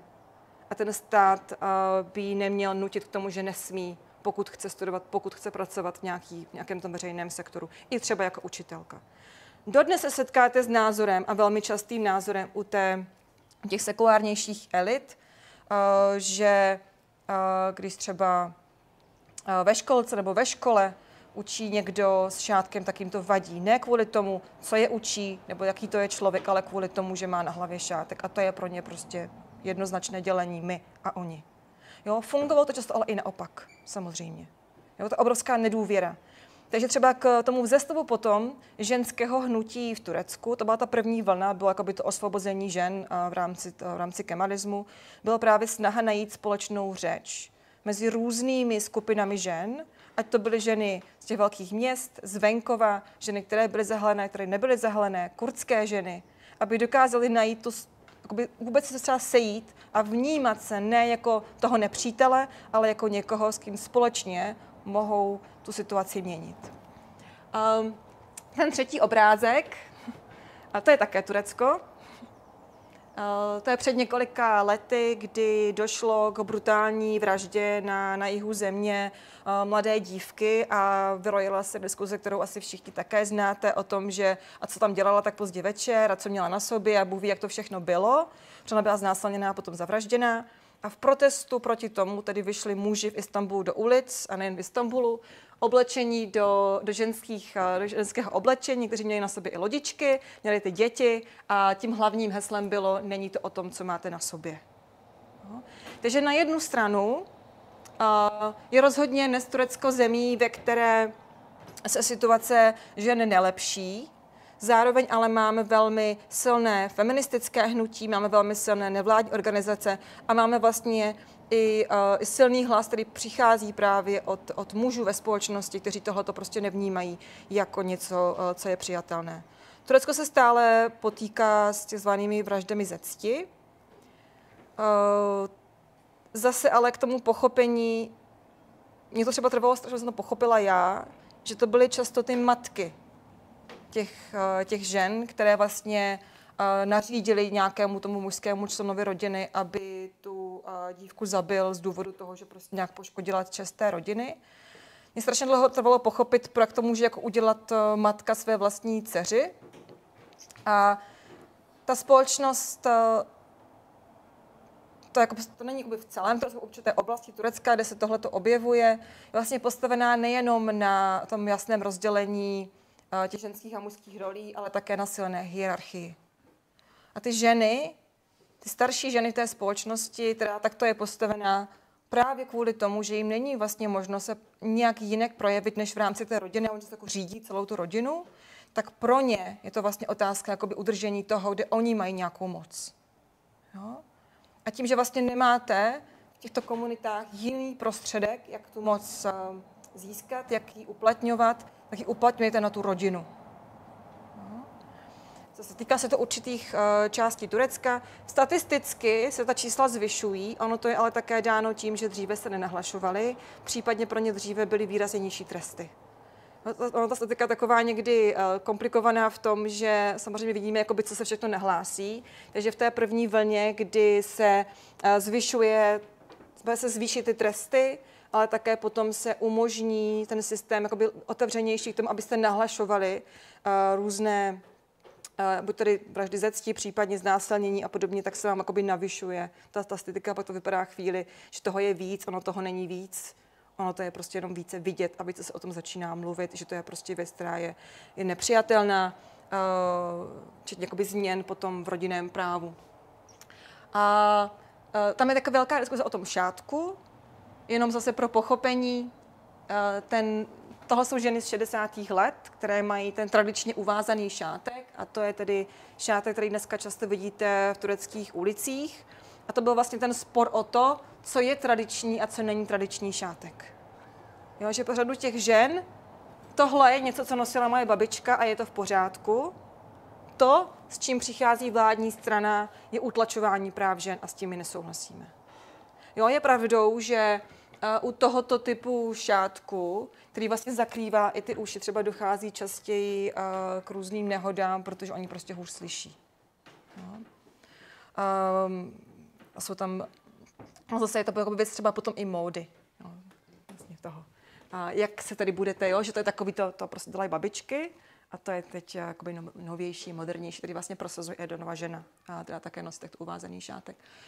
A to poslední, to jsou studentky turecké střední školy, s tím, že když se potom podíváte na tu společnost, tak ona vypadá a je hodně rozdělená, má velmi polarizovaná turecká společnost, minimálně politicky rozhodně. Ale když potom chodíte po těch tureckých ulicích, jako já učíte na turecké univerzitě, tak vidíte, že prostě jdou vedle sebe dívka, která má takto uvázaný šátek s dívkou, která má minisukni, povídají se, povídají si, jsou kamarádky a jako není ta společnost rozdělená už dnes tak extrémně, že by uh, se vlastně vůbec spolu nedokázali dokázali domluvit. Další velké téma jsou lidská práva. Uh, zase otázka, o které samozřejmě v Turecku slyšíme uh, velmi často. Je to také ten důvod, proč, když Turecko požádalo v 80. letech o členství Evropském společenství, tak tady Evropský parlament tu žádost zamítl z důvodu porušování lidských práv. Je to trošku paradox v tom, že ještě na konci 70. let nezávazně Evropská komise Turecku navrhla, jestli by se spolu s Řeckem nechtělo stát členskou zemí a Turecko to odmítlo. 1980 tam dochází k puči. Na základě toho puče potom vzniká nová ústava. Ta ústava byla velmi represivní. Ona trestala těžkými tresty urážku Turecké republiky, urážku Turecka a Ataturka. A vlastně jakoby ta definice té urážky turectví a Turecké republiky byla na, na tak široce, že se do toho vlezlo v podstatě cokoliv a ty zákony byly platné ještě na počátku tohoto tisíciletí. Um, také na počátku 80. let se rozvinul do velmi krvavé podoby konflikt, konflikt na jihovýchodě Turecka mezi tureckou armádou a kurdskou stranou pracujících. Takže uh, i to potom byl ten důvod, že 86 Evropský parlament řekl, že prostě Turecko se nemůže stát kandidátskou zemí kvůli porušování lidských práv. My jsme potom viděli v 90. letech uh, posun, nejvíc, největší posun, ale potom představoval právě počátek eh, těch jednání s Evropskou unii, nebo ten mezi udělením kandidátského statutu a otevření těch jednání, kde byly změněny mnohé zákony, včetně tedy uh, lidských práv a je vlastně i paradoxní to, že to byla právě Erdoganova strana, která začala ten proces jakoby smíření uh, s Kurdy a byl to právě ten velký vnější tlak, který tam byl. Uh, ten důvod, proč on potom změnil svůj postoj, byl, že v rámci svého politického přežití se musel spojit s nacionalisty a jedna z těch podmínek samozřejmě byl velmi tvrdý postoj vůči kurdské menšině, takže on potom otáčí a teď se mu to tady ukázalo být jako problém v těch posledních komunálních volbách, protože ten kurdský hlas je silný hlas a může potom i vyhrát volby. A já to ukazuji i kvůli tomu, že navzdory tomu, co se v té zemi děje, já často slyším, že Turecko je Rusko. Turecko není Rusko. Uh, turecký politický systém není ruský politický systém. Erdogan má narůstající autoritářské tendence, ale není to Putin. Jo, tohle Eh, jako je ten první obrázek, by v Rusku výjít nemohlo. No. To je turecký časopis, eh, který velmi často na svých eh, titulních stránkách vydává věci, které jsou velmi kritické vůči, vůči tomu režimu. Istanbulská, tedy Gay Pride, a vidíte, že ten boj za svobodu zase není jako postavený takže postavený na tom, že máme nějakou vládní stranu nebo koalici, a potom tu opozici, ale ta vládní jsou to, jsou to islamisté a ti jsou prostě proti právům, pak jsou tam ta opozice, jsou demokraté a ti jsou pro lidská práva. A není to vůbec takto jednoduché. Vidíte, že i lidé, kteří jsou praktikujícími muslimy, jsou rozhodně lidé, kteří můžou volit kohokoliv z těch politických stran, stejně jako lidé, kteří, a, kteří jimi nejsou. Jo, není to rozhodně černobílé, tak jako to ani být nemůže v takhle velké zemi. Uh, tohle je další z toho časopisu, tam uh, je napsáno uh,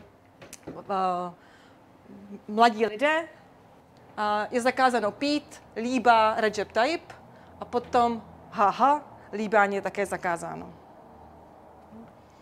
Takže tak to je ta otázka uh, kurdského problému, to by bylo zase se strašně dlouho, jenom k tomu, uh, kde vlastně tedy je ta oblast Turecka, ve které žije uh, většina tedy kurdských obyvatel. To se velmi těžko určuje, protože v, těch, v, těch v tom sečtu obyvatel se neuvádí etnikum, protože ty uh, tureckou ústavou uznané Uh, uznané menšiny jsou pouze náboženské menšiny, a to arménská, židovská a řecká ortodoxní, kteří mají potom specifická práva v tom systému, včetně vlastních škol a podobně. Nicméně kurdové, stejně jako alevité a jiné vlastně menšiny, které tam žijí, nejsou, tedy nemají oficiální menšiny a neuvádí se to v těch, v těch dokumentech a tím pádem my vlastně nemáme přesná čísla ale z pohledu toho, jakoby třeba kde je většinovým jazykem um, kurčtina, tak je to tahle ta uh, žlutá část, kterou tady máme. Uh, ten politik, kterého tam vidíte, je uh, Turgat Özel z 80. let. On byl původem Kurd, byl také uh, věřící muslim a stojí za ním změna turecké ekonomiky ve druhé polovině 80. let, která se potom stává ekonomikou neoliberální a vlastně pokládá základy potom tomu velmi rychlému rozvoji turecké ekonomiky až do toho relativně nedávného období. A velmi důležitý faktor, to je právě ta islámsko, uh, turecko-islámská uh, synteze, ti generálové, kteří ten puč 80 uh, tedy provedli, tak jako největší hrozbu Turecka vnímali v levici. V 70. letech bylo Turecko opravdu jakoby roztrháno boji mezi levicí, extrémní levicí a extrémní pravicí.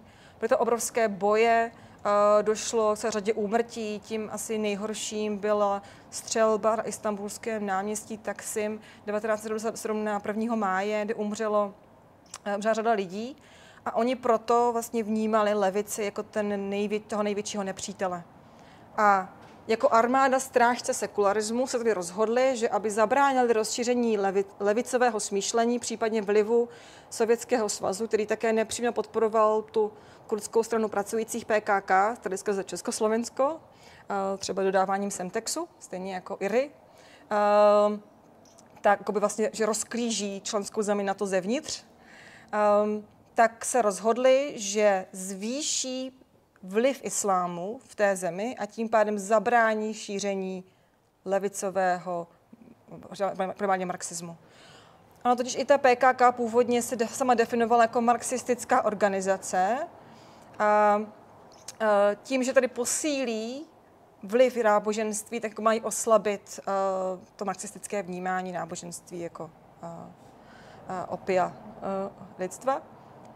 Dochází tedy k tomu, že za jeho, uh, za jeho působení uh, nabírá na síle ten takzvaný zelený kapitál, to znamená malé a střední podniky ze střední Anatolie, které se potom stávají vlastně tím uh, ekonomickým motorem Erdoganovy vlády, vůbec jakoby celé té turecké ekonomiky, protože uh, jsou to často lidé z velmi konzervativních částí Turecka, kteří tedy tím, že se liberalizuje ten trh, dříve turecká ekonomika spočívala v tom, že ty elity napojené na ty hlavní politické strany, a tedy na kemalismus, byly ty, které nejvíce prosperovaly, které vlastně získávaly si různých státních zakázek. Ten systém se otevřel a vzniká celá velká, velká skupina malých a středních podnikatelů, které začaly za zelený kapitál. Zelený kvůli tomu, že zelená je barva islámu. A to financování tím, že oni vlastně uh, nechtějí si půjčovat v bance, protože úrok je haram, tak to financování potom funguje způsobem tím, že vy vlastně uh, ten svůj kapitál tedy vytváříte, potom investujete tím, že pomůžete někomu jinému začít nějaký biznis. A potom z toho máte část. Takhle mimochodem funguje celá řada tureckých podnikatelů i jakoby mimo to turecké území dodnes a vůbec nemusí věřícími muslimy, nebo jako praktikujícími muslimy. Se to špatně v češtině uh, rozlišuje. Uh, že vlastně vy máte nějaké peníze k investici a místo toho, abyste investovali do finančních trhů nebo někde si je uložili v bance, tak investujete vlastně do podnikání někoho jiného a on vám potom ty peníze z toho vrátí a vlastně vytváří se svůj vlastní biznis. No. A část právě toho, toho zakatu té povinné dávky na, na charitu, tak vlastně je potom považováno, že podporujete jakoby další, uh, další uh, podnikatele. Uh, takže nám se obrovská silná skupina a to je vlastně potom jedna z těch, která kromě podpory politické dělá tu ekonomickou podporu uh, nástupu těch islamistických stran, včetně později Erdoana. Ta strana dnes, ona se vždycky přejmenuje, protože uh, uh, dneska má Turecko nastavené teroristické zákony tak, že téměř každý může být kdykoliv označen za teroristu, jsou velmi vágně široce napsány a většinou ty kurdské strany jsou označovány v určitých obdobích eh, vždycky za, za teroristy. Oni se potom přejmenují, pokud jsou zakázány, tak se přejmenují. A ta současná je tedy, ještě v minulých volbách to bylo, před minulým byl HDP a v těch současných už se jmenuje DEM. DEM Party. Tak. Se bavíme o Erdoganovi, tak eh, stejně jako je ta identita rozpolcená, tak je i to hodnocení té jeho éry uh, rozpolcené. Na jednu stranu máme právě to období, kdy uh, on se stává primátorem Istanbulu v polovině 90. let a ještě na počátku tisíciletí, já tam teda tehdy nebyla, ale podle očitých svědků, to, tento pořekadlo, že to smrdí jako v Cařihradě, bylo pravdivé.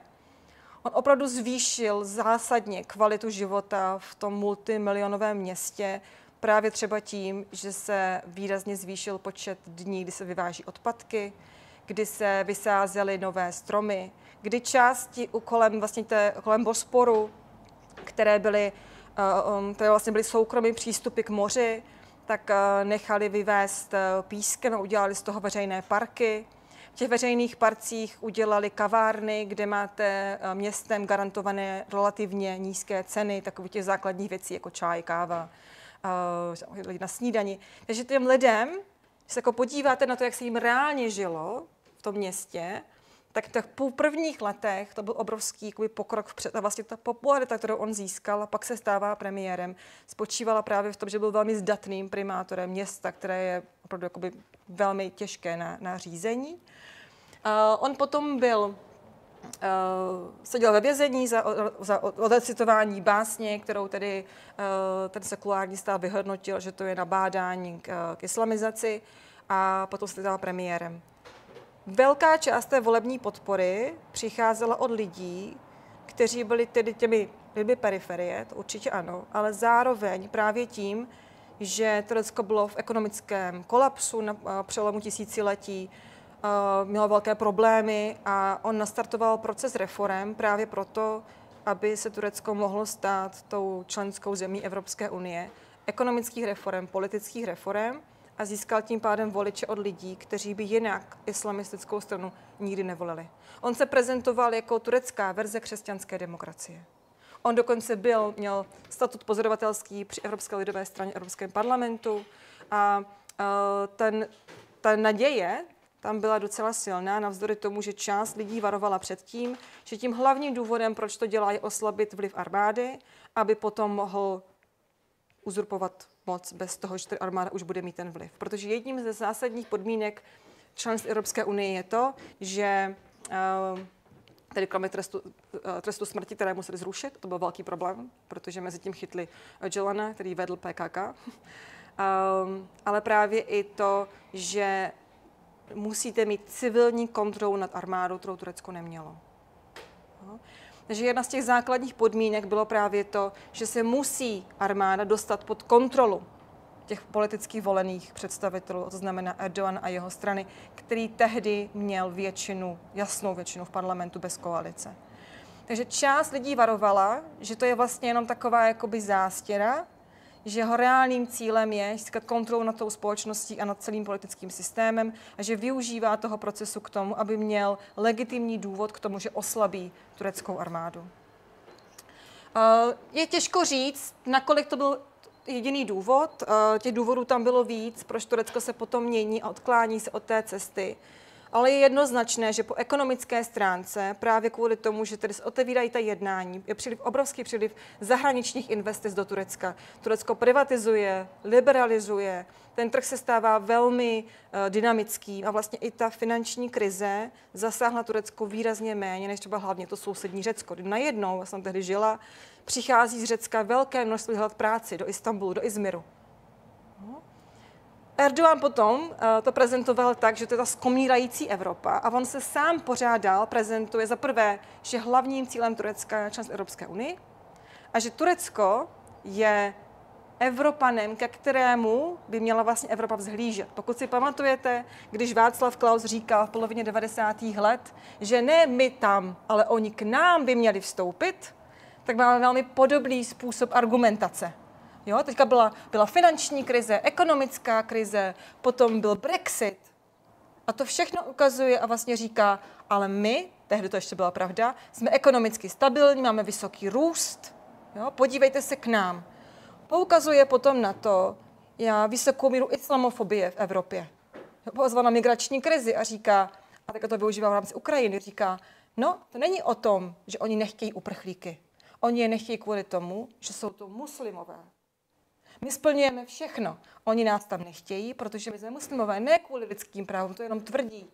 Jo? A samozřejmě ve chvíli, kdy um, Evropa nic z toho vlastně nelze popřít, jo? potom ukazuje na ukrajinské uprchlí a říká, vidíte, tím nevadí. Protože to nejsou muslimové. Mám pravdu, je to, já říkám naprostou pravdu. A těm lidem v jeho vlastní zemi tohle zní naprosto logicky a vlastně částečně má pravdu. Protože od první chvíle, kdy se otevřela jednání s Tureckem, Francie, to dodnes, tehdy Německo, pak se to změnilo, jednoznačně řekli, že Turecko je muslimská země a do Evropy nepatří. Takže ve chvíli, kdy máte vy procházet velmi nákladnými reformami. A my všichni víme, jak to bylo těžké, když se muselo měnit spousta věcí, která se týkala vstupu do Evropské unie. Jsou to velmi nákladné politicky, ekonomicky, sociální reformy. Tak zároveň vám dvě klíčové země Evropské unie říkají, že k tomu nikdy nedojde. Jo? A teď tam máte tu opozici, protože tehdy měl většinu v parlamentu jednoznačně, a máte opozici, která sice dnes je velmi proevropská a obrací se na Evropu a říká, že přivede Turecko zpátky do Evropy, ale v té době za každý krok, za každý chybný krok Evropy i Turecka, a je to logické, je to opozice, jo, útočila na to, že prodáváte Turecko, to je konec naší země, jo, prostě stejně nás tam nechtějí a vy nás jenom prodáváte, prodáváte, prodáváte a vytahovali znovu jako by ten severský syndrom, a že nás chtějí rozdělit a podobně. No. Takže když od první chvíle vám velké země říkají, že to nebude, ale zároveň po vás chtějí ty reformy, zároveň Kypr blokuje jednání o justici, reformě justice, o lidských právech, potom máte jiné země, tehdy hlavně Británie, dneska tam už není, takže Turecko má v tomhle tomu smůlu, které říkají, že těmi hlavními, těmi hlavními důvody by měla být naplnění těch podmínek, demokracie, liberální ekonomika a ten zbytek prostě není podstatný, jsme jednotní v různorodosti. Jo? Já jsem tady právě tohle studovala, to byla jedna z těch věcí, které jsem tam řešila, protože jsem zrovna přijela. Právě mě zajímalo to, proč některé země podporují se Turecka a jiné ne hnedka takhle z počátku toho vstupu, když tam ještě navíc běží takhle hluboké reformy. A bylo krásně vidět, že to, jestli jsou pro nebo proti, potom určuje, jak definují Turecko a Evropskou unii. Takže ti, kteří nechtěli, jako třeba Sarkozy, aby Turecko bylo součástí Evropské unie, tak popisovali evropskou identitu jako postavenou na židovsko-křesťanských eh, kořenech, že vychází z humanismu, eh, ze starověkého Řecka. A kdo tohle to nemá, nemůže být evropskou zemí. Země, které byly pro vstup Turecka, jako třeba tehdy Česká republika nebo Británie, argumentovali právě tím, že každá země, která splňuje podmínky, že prostě má ten evropský kontinent a lidská práva naplňuje a, a přijme aky a bude prostě funkční demokracií a ekonomikou, tak se může stát členskou zemí Evropské unie. No, takže to, jakou definici evropanství si vybrali, ovlivňovalo právě to, jestli chtěli nebo nechtěli, aby Turecko tu definici naplnilo. A to je potom ta představa, Ukrajina to má velmi podobné. Ukrajina stojí na tom velmi stejně a bude to pro ně stejně těžké jako pro to Turecko.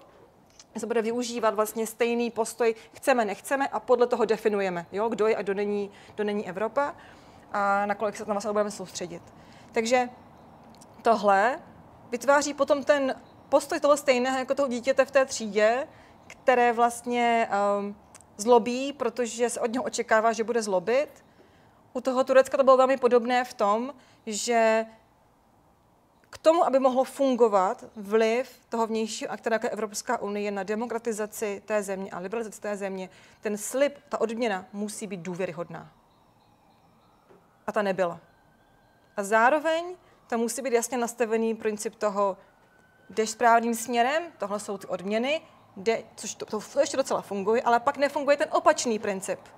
Jo, takže když nesplňujete, nebudete se vydat opačně, tak vám ubereme z toho. A tam nebylo moc co ubírat, kromě uh, celní unie, která nicméně ale vyhovuje i té Evropě, protože to je důležité, ten obchod mezi oběma zeměmi je velmi silný, takže úplně jako tohle nechcete si vzít, jo? to pak i potřebujete. Takže se vlastně jako by nic nedělo. A také velmi často nepochopení těch událostí, protože, jak jsem říkala, jak jsem tam uh, žila v té době, tak se díváte na ty zprávy, které, co se tam děje, tam uh, začal uh, velký soudní spor proti jakoby nepřátelům Adanovy strany, který byl samozřejmě rámován tím, že se jedná o lidi, kteří chtějí uh, připravit nějaký půjč a svrhnout uh, násilně Erdoana, že to prostě nedemokraté. Bylo to celé vystavěno na, na falešně nebo neexistujících důkazech. Když jste se ale podívali do toho zahraničního tisku, tak to tam mělo plnou podporu. Jo, takže vlastně to, že se tehdy zavírali novináři, zavírali bývalí důstojníci armády, zavírali se bývalí politici, tak eh, vlastně tam jako přizvukovali s tím, že no, ale oni jsou přece ti, kteří chtěli tady připravit nějaký puč. No. Když se potom zpětně ukázalo, že to bylo většina z toho postavená na úplně sfalšovaných důkazech, tak to tak jakoby no, zmizelo, to téma, ale zůstává v té společnosti samozřejmě. Mimochodem, část těch novinářů, kteří dnes v Evropě žijí a bojují za svobodu médií, protože z Turecku dnes nemůžou být, jsou ti stejní, kteří tehdy, protože to teklo jiných novinářů než jich, ve svých novinách psali, že to je zcela v pořádku. No. A že oni nejsou zařazeni kvůli tomu, že jsou novináři, ale kvůli tomu, že jsou to teroristi. A dnes, když se to říká o nich, tak jsou v Evropě a říkají, že jim hrozí velké nebezpečí, což no, v Evropě asi ne, v Turecku by asi šli sedět, protože oni bojovali za pravdu a demokracii musíme být velmi opatrní také právě v tom, že ta diaspora je velká, které odcházely v různých dobách, z různých důvodů, tak sebou nesou různé příběhy. A musíme velmi opatrní, komu nasloucháme a, a jestli nám říká jenom půlku, třetinu, čtvrtinu nebo úplnou lež z toho příběhu, co se vlastně v Turecku děje. A tím, že ta země je velmi komplikovaná, tak to není vždycky úplně snadné rozlišit vlastně o koho, o koho jde. Samozřejmě spousta těch lidí má reálný důvod, proč odchází a jako, není to rozhodně většina. Takže to je ten spor teďka, co máme mezi Erdoganem a, a, a Gulenem. To by bylo na strašně dlouhé téma, nicméně uh, Gulenovo hnutí se stalo uh, nejmocnější nebo nejbohatším sociálním hnutím na světě s obrovským majetkem a uh, pomohlo vlastně Edenovi v tom zastupu k moci. Uh, nikdy oficiálně nebyly aliancí, byla to neformální aliance, která se rozpadá potom na, uh, v těch posledních 2010, 2013, tam se líší občas jak to, kdo definuje a nakonec tedy končí tím nezdařeným pučem, po kterém tedy Erdogan vlastně zavřel eh, školy, ze kterých přicházel ten hlavní příjem toho Glenova hnutí, potom také všechny ty firmy a podobně, to už je ten příběh, který, eh, který známe. A to vlastně na to odkazuje, ale zase, jo, jak to tam prostě máte, jsou věci, ve kterých ta země se obrovsky posunula vpřed. Právě nejenom v těch prvních letech, kdy dochází tím velkému přílivu investic, ale i následně digitalizace v Turecku je výrazně pokročilejší a výrazně dříve proběhla než tady. No. Před deseti lety jste měli prostě jeden portál, kde jste si stáhli trestní rejstřík a výpis ze sociálky a zdravotní pojištění, jak jste čerpali z jednoho, míst, z jednoho místa. No? Um, e-recepty dávno předtím. Tady se prostě řešilo, jestli jo, a doktoři, a co si tam už to dávno běželo. Takže ten stát se stal výrazně efektivnějším a část jeho podpory až do té doby, kdy probíhala ta hluboká ekonomická krize, přicházela i od lidí, kteří třeba úplně jako nesouzněli s jeho politickými názory, ale kteří viděli, že ta země ekonomicky prospívá a obávali se, že když tam nebude a nastane znovu vláda koalic, jak to bylo před jeho nástupem, kdy se budou hádat, nebudou se na něčem dohodnout, Jo, bude tam prostě zmatek v té zemi, jako byl předtím obrovská inflace. Jo? Ta je taková relativně nová poslední tři roky, ale předtím nebyla. Takže pro ně to byla záruka stability. Oni mu to dokonce dokázali. Třeba 2015 v létě Erdogan prohrál volby. Neměl většinu a teď uh, opozice se začala hádat.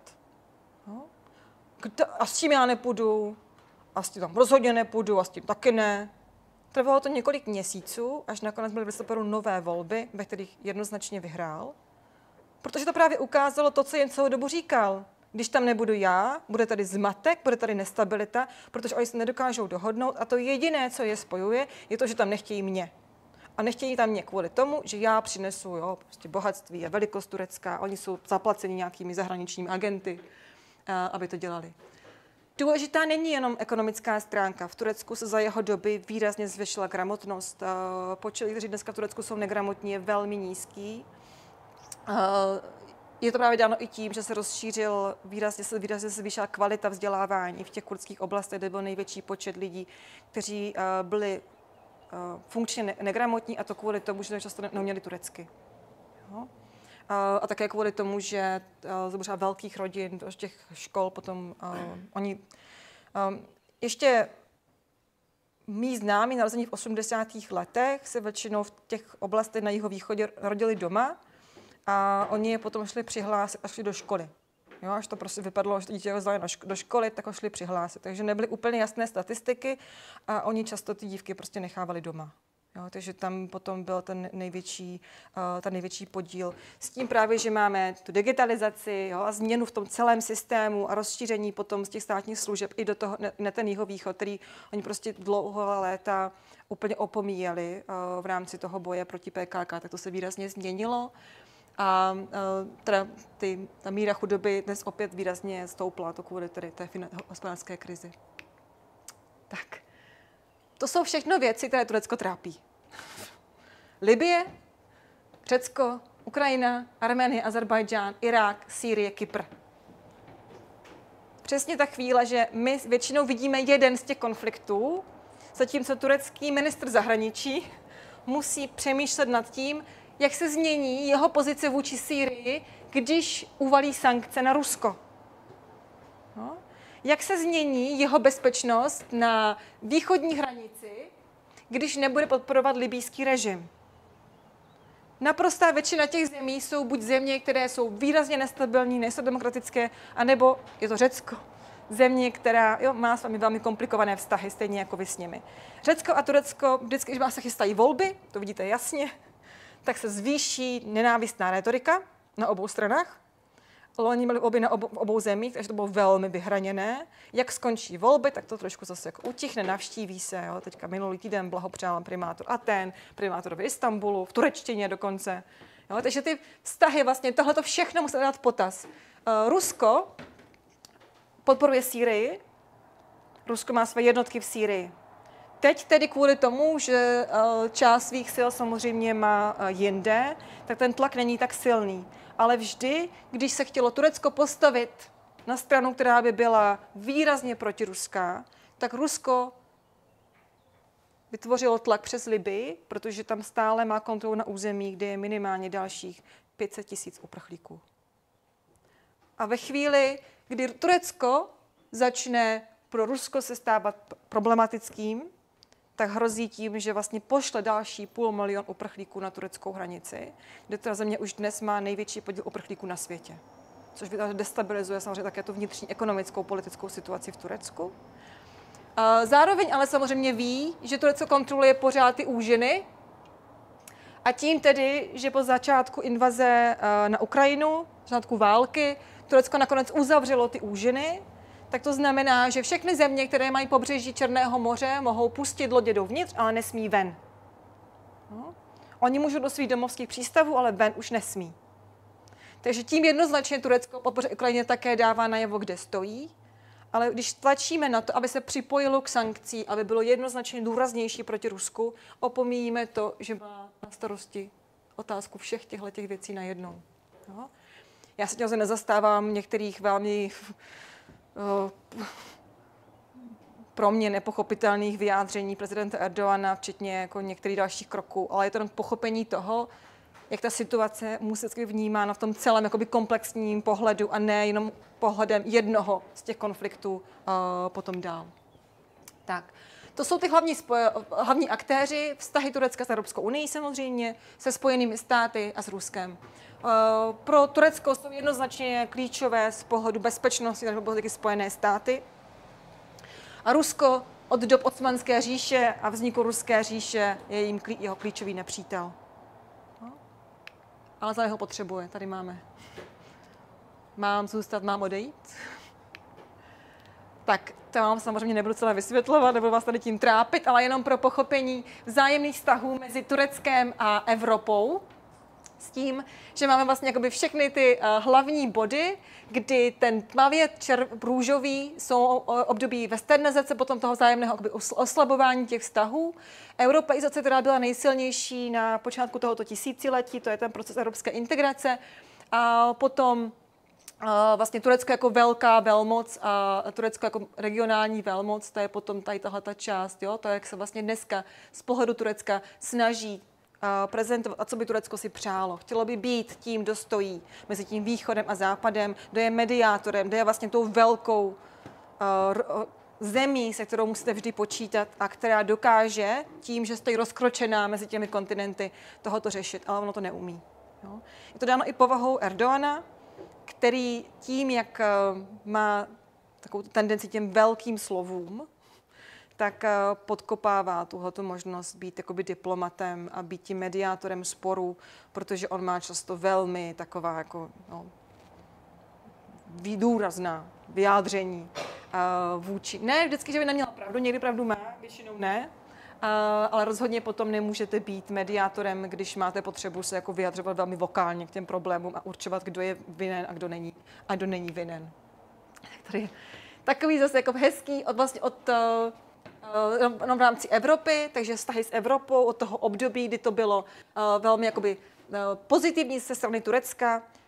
Mimochodem dodnes i v těch nejkonzervativnějších částech Turecka na východě, odkud je vlastně Erdoganova rodina, kolem Černého moře, se více než 60% Turků vyjadřuje tak, že si přeje, aby Turecko bylo členskou zemí Evropské unie. Když se jich ale zeptáte, jestli tomu věří, tak jenom 15% řekne, že, že někdy se to možná stane. Jo? Ale jakoby ta představa toho, že to je to místo, kam patříme, to je odkaz republiky, kterou Ataturk zanechal, je pořád stejná, navzdory tomu, jestli se jedná o velmi uh, městské uh, in, liberální elity, anebo jestli se jedná o výrazně více konzervativní východní Anatolii. Tak, to je ten Kypr. Kybris je Kypr. Um, to jsou dveře do Evropské unie. Od první chvíle, tím, že vstupuje do Evropské unie s námi jen ta řecká část, si Evropská unie vlastně importovala celý ten konflikt mezi, uh, mezi severním a jižní, nebo řeckou a tureckou částí Kypru, uh, protože hned potom se byla zahájena jednání s Tureckem, Kypr okamžitě zablokoval několik kapitol s tím, že tady dokud Turecko nesplní jeho podmínky, tak jen odblokuje. Turecko zase říká, že to má být naopak, protože ta turecká část v Ananově plánu hlasovala pro sjednocení ostrova a ta řecká hlasovala proti, že to není fér a že tedy neří má Kypr ustoupit Turecku a potom Turecko ustoupí Kypru. A těch posledních 20 let jsme na stejné pozici, kdy jeden říká ty první a ten druhý říká ne, ne, ne, první musí žít ty. Jo, a výsledkem je prostě blok. Je jasné, že samotný Kypr jako malá země by nedokázal ta jednání blokovat takto dlouho. Stojí za ním někteří silní hráči, nejvíce Francie, s tím, že i po tom velkém rozšíření byla jakoby nechuť dalšímu rozšiřování. Ty země prostě nechtěly jít někam dál a vlastně se jim to hodilo. Jo, že to, že to, že to je vlastně zablokováno, že to nejde nikam dál, ale potom i ten jakoby, odklon od europeizace a demokratizace v Turecku vyhovoval v tom, že se tím nemusí řešit otázka členství Turecka. Jakoby, že to prostě samo nějakým způsobem.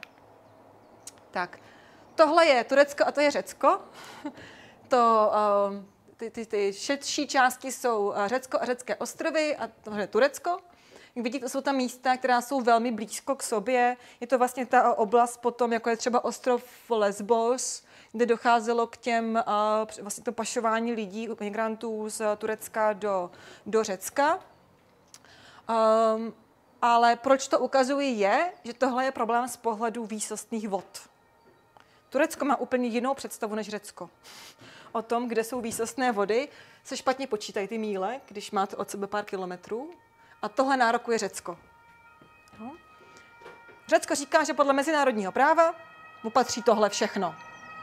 Tím pádem Turecku zůstává v podstatě pouze tady ta oblast kolem Antálie. Všechno ostatní by mělo podle extrémního výkladu uh, mezinárodního práva patřit, uh, patřit Řecku. Uh, zároveň tam máme Kypr, kolem kterého jsou tam naleziště zemního plynu. A v rámci tedy nev, nedobrých vztahů mezi Tureckem a Egyptem od arabského jara, také mezi Tureckem a zeměmi um, zálivu, jako jsou Emiráty, ale také špatnými vztahy se Sýrií a s, s Libanonem a s Izraelem, se vlastně spojilo Řecko s těmito zeměmi a vytvořilo ekonomickou zónu. Což Turecko vyřešilo tím, že se spojilo s Libí a vytvořilo vlastní ekonomickou zónu, která potom vypadá takto. Překrývají se. Do toho ještě vstupuje Francie a brzdí to Německo, která tedy tvrdí, že samozřejmě nárok, nárok Řecka musí být jednoznačně vyslyšen a je jednoznačný a Turecko prostě v žádném případě ne. Proto také Francie v Libii podporuje tu vládu, kterou neuznává OSN, zatímco Turecko podporuje vládu, kterou tedy uznává mezinárodní společenství, protože s tou vládou má Turecko dohodu a kdyby tam byla jiná vláda, kterou podporuje Francie, tak by Turecko tu dohodu nemělo. Bylo by to vyřešeno. Výsledkem toho všeho je, že pokud se má někdy vytěžit nějaké něco u Kypru, tak se prostě všechny země budou muset nějak dohodnout. No. Eh, jak rostla mezinárodní izolace Erdoana, tak uh, už v těch posledních dvou, třech letech bylo vidět, že výrazně ustupuje z té velmi agresivní rétoriky, která se jenom zase zvýšila před těmi loni, uh, protože velké téma uh, v domácí politice, aby nebylo vidět ekonomické problémy, tak se zaměříme na zahraniční politiku a na naše vnější nepřátele, ale jinak je vysloveně tendence k tomu, aby se prostě nějakým způsobem ty země mezi sebou dohodly, i když ten problém Kypru se nezdá, že by se mohl v nějaké blízké době vyřešit. Tak tohle je to Rusko, jak jsem slibovala. Jsem vysvětlovala, proč eh, pro Rusko je tak důležité Turecko, protože navzdory tomu, že máte tohleto všechno, přístup k moři, tak nakonec k těm trhům, samozřejmě pro Rusko jsou nejdůležitější ty evropské trhy. A na evropské trhy se dostanete buď takhle, Tady je Černé moře, tady, tady, pardon, tady je Severní moře, po, jako po, Bal, Baltí, po, Bal, po Baltí, po Bal, Baltské moře, to taky není úplně jakoby friendly pro to Rusko. A tak jediná cesta ven vede přes ty úžiny, která nicméně kontroluje Turecko. No. Černé moře, a tam možná mám potom ještě jeden ten slide, jo. Černé moře vždycky bylo tureckým imperiálním mořem než se postupně rozšířila ruská říše až k těm stepím a sáhla také až na Černé moře. Tam potom došlo určitému jakoby rozdělení toho moře mezi Rusko a, a, a Turecko a Osmanskou říši. Ale pořád platí to, že to Turecko, pro něho to pořád bylo takový jako jezero za, tam za no. Tady, že jo, teďka hnedka tady máme Istanbul, tady hlavní město Osmanské říše a zatím prostě máte takový velký rybník. No. Pro něho, pro Turecko, výrazně jednoduše byly té uh, středozemní moře, Egejské moře, jo, to, které vede potom dál do těch světových moří. Pro to Rusko je to ale úplně klíčová oblast, protože tam jediný způsob, jak dostat se těm trhům, prostě je po moři tímto způsobem a samozřejmě černomorská flotila. Jenomže Černé moře má trošičku jakoby problém. Tady na té straně je extrémně plitké, 8 metrů. No. Tam jako moc zaparkujete. Tady zase na téhle té straně je, aha, je velmi bouřlivé a padá takhle jako hluboko do, dolů. Ono není jako úplně strategicky z tohoto pohledu dobré, pokud se to někde parkovat svou námořní flotilu. Když chceme pochopit Krym, když chceme pochopit Azovské moře, když chceme pochopit, co vlastně Rusko s Ukrajinou dělá, tak to všechno spočívá v tom významu Černého moře pro černomorskou flotilu, pro to, kde můžete parkovat uh, tu flotilu, komu ta flotila patří a vlastně to, že do toho Azovského moře máte pouze tady tenhle ten jediný prostupný bod. No, tam vlastně postavili ten most. Takže když někdo říká, že Turecko a Rusko jsou přátelé, nezná ani historii, ani současnou polohu vlastně těch dvou zemí a o co tam jde. Pro Turecko, Rusko je ve chvíli, kdy se dostává do stále větší izolace a zároveň na něho Rusko tlačí z jihu, ze Sýrie, případně vyvoláváním dalších konfliktů v jeho blízkosti, včetně Arménie a Azerbajdžánu, tak je samozřejmě partnerem, který musí počítat. Je to také uh, země, která jednoznačně může ohrožovat bezpečnost Turecka. Ale už po invazi Ruska na Krym, vlastně jedna z těch prvních zemí, která opravdu jakoby reálně pomáhala Ukrajině, bylo právě Turecko. Jo, včetně toho, eh, že tam byly vlastně velké plány, které samozřejmě teď není možné eh, realizovat, na využití toho velkého vojenského komplexu, která Ukrajina zdědila po Sovětském svazu, k tomu, že by tam eh, ve společné jakoby, synergii těch průmyslů Turecko mohlo zvýšit svoji vojenskou, svou vojenskou, vojenskou výrobu. A to je všechno spočívá také v tom, že Turecko začalo stále více nedvěřovat západu, hlavně Spojeným státům. Jo, tím, jak se zvyšuje nestabilita v jeho blízkosti, ale hlavní důvod potom byla válka v Sýrii, kdy tedy uh, Turecko prostě vnímalo ty kurdské bojové jednotky jako odnož PKK a pro Spojené státy se staly spojenci a Turecko tohle vnímalo, že to vlastně Spojené státy udělal, Obama to udělal bez konzultace Turecka jako zradu v rámci spojenectví. Jo? Že je potřeba tohle konzultovat s tou zemí, protože spojenectví jsou daleko, Turecko je tady, má s tou zemí hranici a vnímá ty jednotky jako odnož PKK, kterou Spojené státy mají na seznamu teroristických organizací. Stejně jako Evropská unie. Tam se to potom zhoršovalo dál k tomu, že Turecko mělo od Spojených států uh, půjčený systém Patriot protiraketové obrany, které Spojené státy se rozhodly z toho hranice ze Sýrií stáhnout. Tehdy Turecko chtělo to odkoupit, Spojené státy řekly, že ne, chtěli si to pronajmout, Spojené státy řekly, že ne, a ve stejné době docházelo k těm útokům vlastně přeshraničním na území Turecka, ve kterých v několika případech umírali děti. To jsou samozřejmě ty, příměst, ty příhraniční městečka, vesnice a ty rakety občas trefily třeba školu. A já vždycky říkám, si představíme, že bychom tady prostě byli někde u Mikulova, tam by vám z Rakouska přistála raketa, zabila by několik dětí a my bychom dělali, že nám to jako přijde normální a že nečekáme od spojenců, že nám prostě poskytnou nějakou ochranu. Jo, tohle, ačkoliv Erdogan není demokrat, Erdogan udělal spoustu věcí, které jsou naprosto jakoby nepřijatelné z pohledu uh, lidských práv, zahraniční politiky, vůbec jakoby celého fungování té země, tak v těchto těch momentech on získává podporu. A tím se také vlastně jakoby zvyšuje ta nedůvěra vůči západu, vůči té prozápadní orientaci a ti lidé volají po, nějak, po něčem jiném. Takže i z tohohle úhlu, když se potom díváme na ten spor S-400, který Turecko sice má, ale nepoužívá nepoužívat nebude, je otázka, proč ho má, tak je to částečně vlastně i takové jako já tady nemusím být vždycky. Turecko totiž argumentuje tím, že během studené války i na jeho území byly rozmístěny rakety středního doletu. Že i na jeho území uh, vlastně byla americká vojenská základna. Že kdyby došlo k válce se Sovětským svazem, tak Turecko by bylo jako první na ráně a vlastně tvořilo ten nárazník pro západ. Během první války v zálivu Turecko přijalo 100 tisíc kurdských uprchlíků, za kterých bylo slíbil od Spojených států, že dostane finanční pomoc, aby je mohli integrovat do společnosti. Nepřišel ani dolar. Když přichází válka v Afghánistánu, do Turecka přichází velká vlna afgánských uprchlíků. Když je válka v, v, v Iráku, do Turecka přichází velká vlna uh, iráckých uprchlíků, zároveň vzniká ta kurdská autonomní oblast, původně tedy proti, nakonec uh, se souhlasem Turecka, která potom spolupracovala s tou kurdskou autonomní oblastí.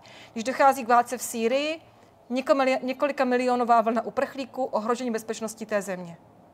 Jo? Takže na tomhle potom staví turečtí nacionalisté, kteří spochybňují evropskou orientaci a západní orientaci a říkají, my vám to říkáme celou dobu, my jim nemůžeme věřit. Jo? A vrací se vlastně ten syndrom z toho sévr, z toho, že když nás potřebují, tak nás využijí a když nás nepotřebují, tak nás tom nechají. A tím pádem, samozřejmě Rusko není, uh, není uh, nějaký spojenec, musíme být nezávislí, musíme být silní. I vlastně to propojení s Ukrajinou po, ane, po anexi Krymu vycházelo z toho, že jsme obě země, které něco mají, té druhé to chybí. A můžeme být obě silnější vlastně vůči tomu, že z jedné strany je Rusko a z druhé strany Unie, která nás nechce. Jo? Pamatujte si tehdy, dlouho se řešilo, že Ukrajina nikdy a prostě skorumpovaná země a v žádném případě žádné rozšiřování. Jo? A to je stejně jako to, co tam může Rusko. Jo? Takže uh, určitě to v tom hraje velmi silnou roli. Zase rozhodně to není tak, že by nebyla jiná cesta, ale je velmi těžké v takovém prostředí dát držet nějakou prozápadní, uh, prozápadní linii, i kdyby to byl třeba jiný politik než, uh, než Erdogan. Tak. A tady je jenom seznam lidí, kdyby vás zajímali, kteří se věnují Turecku, uh, kteří si myslím, že uh, mají velmi zajímavé postřehy, kteří dokáží psát jak velmi odborné, specializované texty, tak i velmi přehledné, zajímavé eh, eh, reakce na současnou situaci, třeba na volby a podobně v Turecku. Takže určitě moc doporučuju vlastně úplně kohokoliv z nich. Většinou jsou to eh, jsou to Turci. Někteří žijí v Turecku, někteří žijí dlouhodobě v zahraničí a někteří napsali i takové popularizační knížky Uh, Soner Čáptaj napsal dvě knihy, které vlastně popisují tu uh, Erdoganovu kariéru a jeho éru. Uh, velmi, velmi zajímavým a způsobem i pro pochopení třeba člověka, který se s tím příběhem Erdogana setká poprvé. Takže některé jsou, myslím, že jedna z nich je přeložena do češtiny, možná, možná. A jinak jsou normálně dostupné i v českých uh, knihkupectvích, uh, uh, ty jeho knížky určitě. Tak, a to by bylo asi všechno. Jo, je to všechno.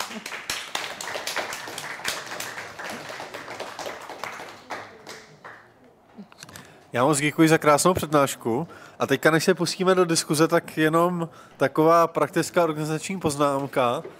Nevím, jestli to tady všichni vědí, tahle ta budova funguje tak, že ona se v 7 hodin automaticky zamyká, takže pokud někdo potřebuje odejít, uh, my samozřejmě vás můžeme vypouštět, máme kartu, ale pokud někdo uh, chce odejít brzo, tak prosím odejděte teď.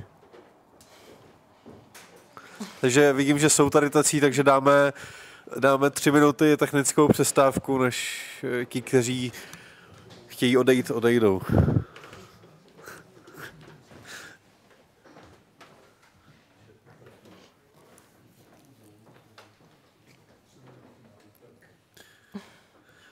Dobře, tak to bylo rychlejší, takže ti, kteří měli odejít, odešli.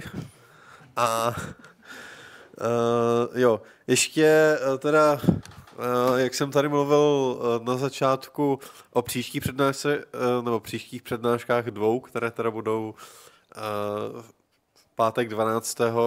Tak jsem ještě zapomněl zmínit, že vlastně přednáška, která bude za 14 dnů, tak se bude docela, bude docela tematicky okruhem podobná té dnešní, protože tady budeme mít Irenu Kalhousovou z Fakulty sociálních věd Univerzity Karlovy a jejím tématem bude uh, současná situace v, uh, mezi Izraelem a Palestinou, takže přednáška se bude týkat vál, války v uh, Gaze.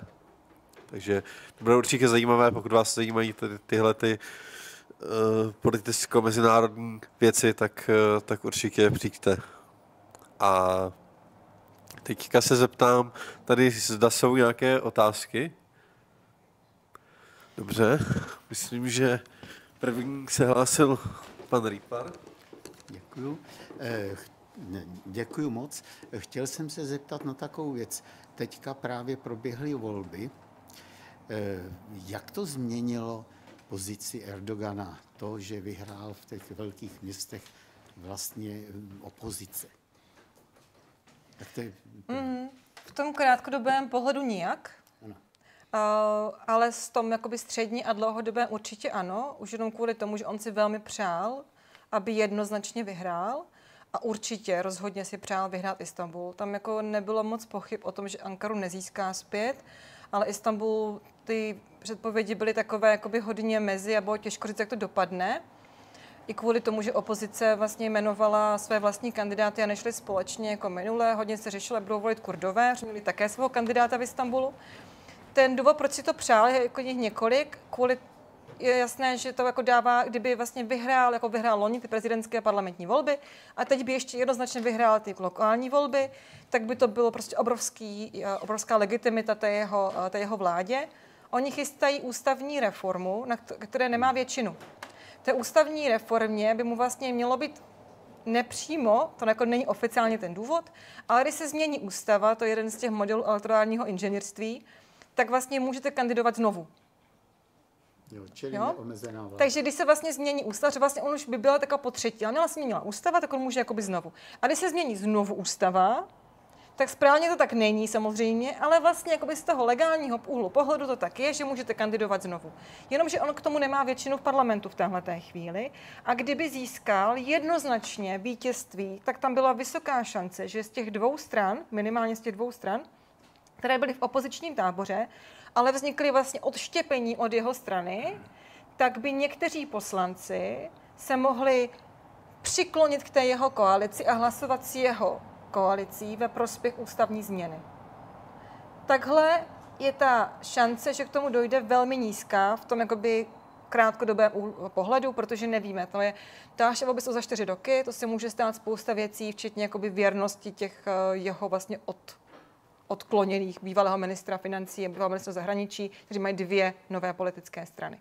A dostali se do parlamentu na zádech opozice tedy. Uh, takže tohle určitě je problém uh, v rámci ústavní změny. Další velký problém je v tom, že skrze kontrolu těch uh, měst a obcí se jemu dařilo docela dobře získat popularitu právě tím, že se jakoby rozlišovalo, kdo co dostane a kdo nedostane. Jo? Takové to, uh, takže když je to jakoby moje město, tak tam se postaví nové silnice a tam se prostě udělá něco nového a když to je město opozice, tak tam nebude nic.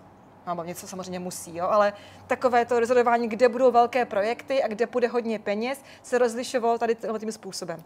Ve chvíli, kdy ale máte tu mapu, já jsem ji tam původně měla, ale někam mi vypadla vlaku, byla špatný signál, tak jsem ji asi omylem smazala. A Když se podíváte na mapu před pěti rokama a dnes, ona byla taková prostě hodně oranžová, to je jeho strana, a potom taková trochu červená na těch pobřežích, pobřeží to byla opozice. Teď jsou tam všechny barvy.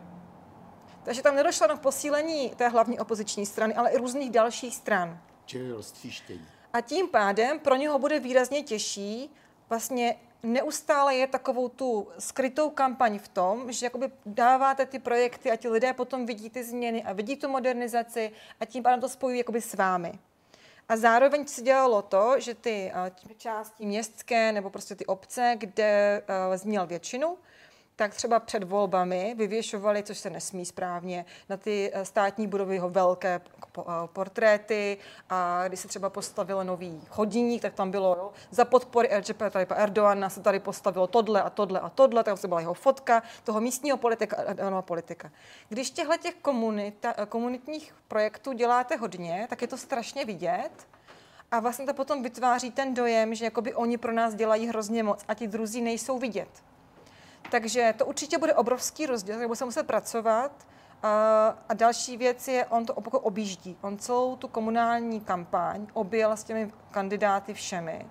A za čtyři roky a za další čtyři roky nebo pět let bude prostě té síly míň a míň. Otázka, protože to je jakoby všechno jakoby jeho, jo? Jedna věc je, že to je jakoby jeho politika, jeho popularita, jeho strana. Takže ti kandidáti, které on vybírá, nejsou dostatečně silní v tom, aby mohli vyhrát volby, protože nejsou dost silní také v tom, aby mohli porazit jeho v tom vnitřně politickém prostředí té strany. No. Určitě bych, jako teďka se hodně píše, že prostě budoucí prezident bude Imamolu. Já bych byla velmi opatrná, protože je rozdíl mezi komunálními volbami a prezidentskými volbami, kde se vlastně setkávají dva ti kandidáti. Jo. Tohle je, že prohráli kandidáti, které on vybral, ale ne on. Pro spoustu lidí je rozdíl, jestli hlasujete pro jeho stranu, třeba pro nějakého jakoby hůř fungujícího starostu, i když z jeho strany, a nebo jestli hlasujete přímo pro Erdoana. Spousta totiž jeho voličů kvůli ekonomické situaci nepřišla k volbám. Ono to vypadalo takové divné, že bylo zemětřesení, vysoká inflace, obrovská recese a stejně vyhrál, jenomže on dlouho jel politiku toho, že vlastně byly velmi nízké úrokové sazby, neustále přidával lidem peníze, takže jich se ta krize dotkla až po těch loňských volbách kdy se vrátil ortodoxní ekonomické politice a oni vlastně až těch posledních deset měsíců zažívají reálné dopady ekonomické recese. Takže to byl jakoby trest za to, co se děje. Má na to čtyři roky. Takže pokud by pokračovat dál v té velmi ortodoxní ekonomické politice, tak budou rok na tom ještě velmi špatně. Pak se to a začne zvedat. A je možné, že do dalších prezidentských voleb bude ekonomicky Turecko znovu velmi silné a dostane zpátky ty svoje hlasy. A část těch hlasů nešla opozici. Protože oni ztratili 7 milionů hlasů. Opoziční hlavní strana získala 1 milion. Takže těch dalších šest jsou ti, co nepřišli a potom ti, co volili stranu, která s tím je v koalici. Je to taky islamistická strana, ale není to on. Jo? Že vlastně on se objevila náhrada za tu jeho stranu, která je podobná, je s ním v koalici, ale není to ta jeho strana. Takže tam teďka je, jako určitě Imamolu je člověk, který jediný teďka v Turecku na to má. Aby, mu, aby se mu postavil. Lidi nadávají, že Loni nebyl kandidátem na prezidenta, že kdyby byl, že by vyhrál, nevyhrál. Uh, nevyhrál, protože uh, já si to myslím, protože si myslím, že on, ano, byl nejdříve byl starostou městské části, potom byl primátorem, ale Erdogan je velmi zdatný politik. Má za sebou velmi dlouhou politickou kariéru a je jakoby, on opravdu rozumí těm lidem na té ulici. Jo? On jako fakt, nám třeba jako divné, jak mluví nebo co říká, ale on se umí napojit na to jejich vnímání, na ty jejich pocity a je výborný rétor tomu musí imám podle mě dospět, jo? že tam ještě loni by tam nebyl a bylo by to velmi... A takhle vlastně, kdyby loni byl kandidátem a prohrál by, tak by byl ten, který prohrál. Takhle je vítěz městské části, vítěz Istanbulu, po druhé vítěz Istanbul a tentokrát i s většinou zastupitelstvu. A lidé mají rádi vítězené, poražené.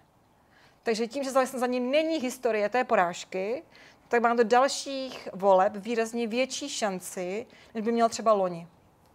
Jo, kde v rámci i té velmi rozbité koalice bylo potřeba mít někoho, kdo právě nebude velmi charismatickým politikem, kdo bude takový jako schopnost takový usměřovat ty lidi a bude uh, a přitáhne ty kurdské hlasy, protože ten lonský kandidát na, premi, na, na, na prezidenta Kemal Kılıçdaroğlu uh, je nejenže alevita, ale samozřejmě i kurd, takže on přitáhl část uh, těch voličů.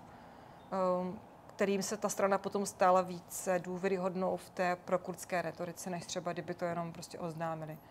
On mimochodem před těmi volbami, jeden z jeho politiků nebo té strany měl nějaký jako protikurdský výstup a on se velmi zásadně ohradil, že takový člověk nemá co, děla, nemá co dělat eh, v politice nebo v jeho straně a tím Milva zase prostě přitáhne. To byla velmi taková rychlá reakce, vypadalo to jako, jako velmi důvěryhodně, že to prostě nebylo takové to za půl roku se nějak vyjádřím tomu, co se stalo.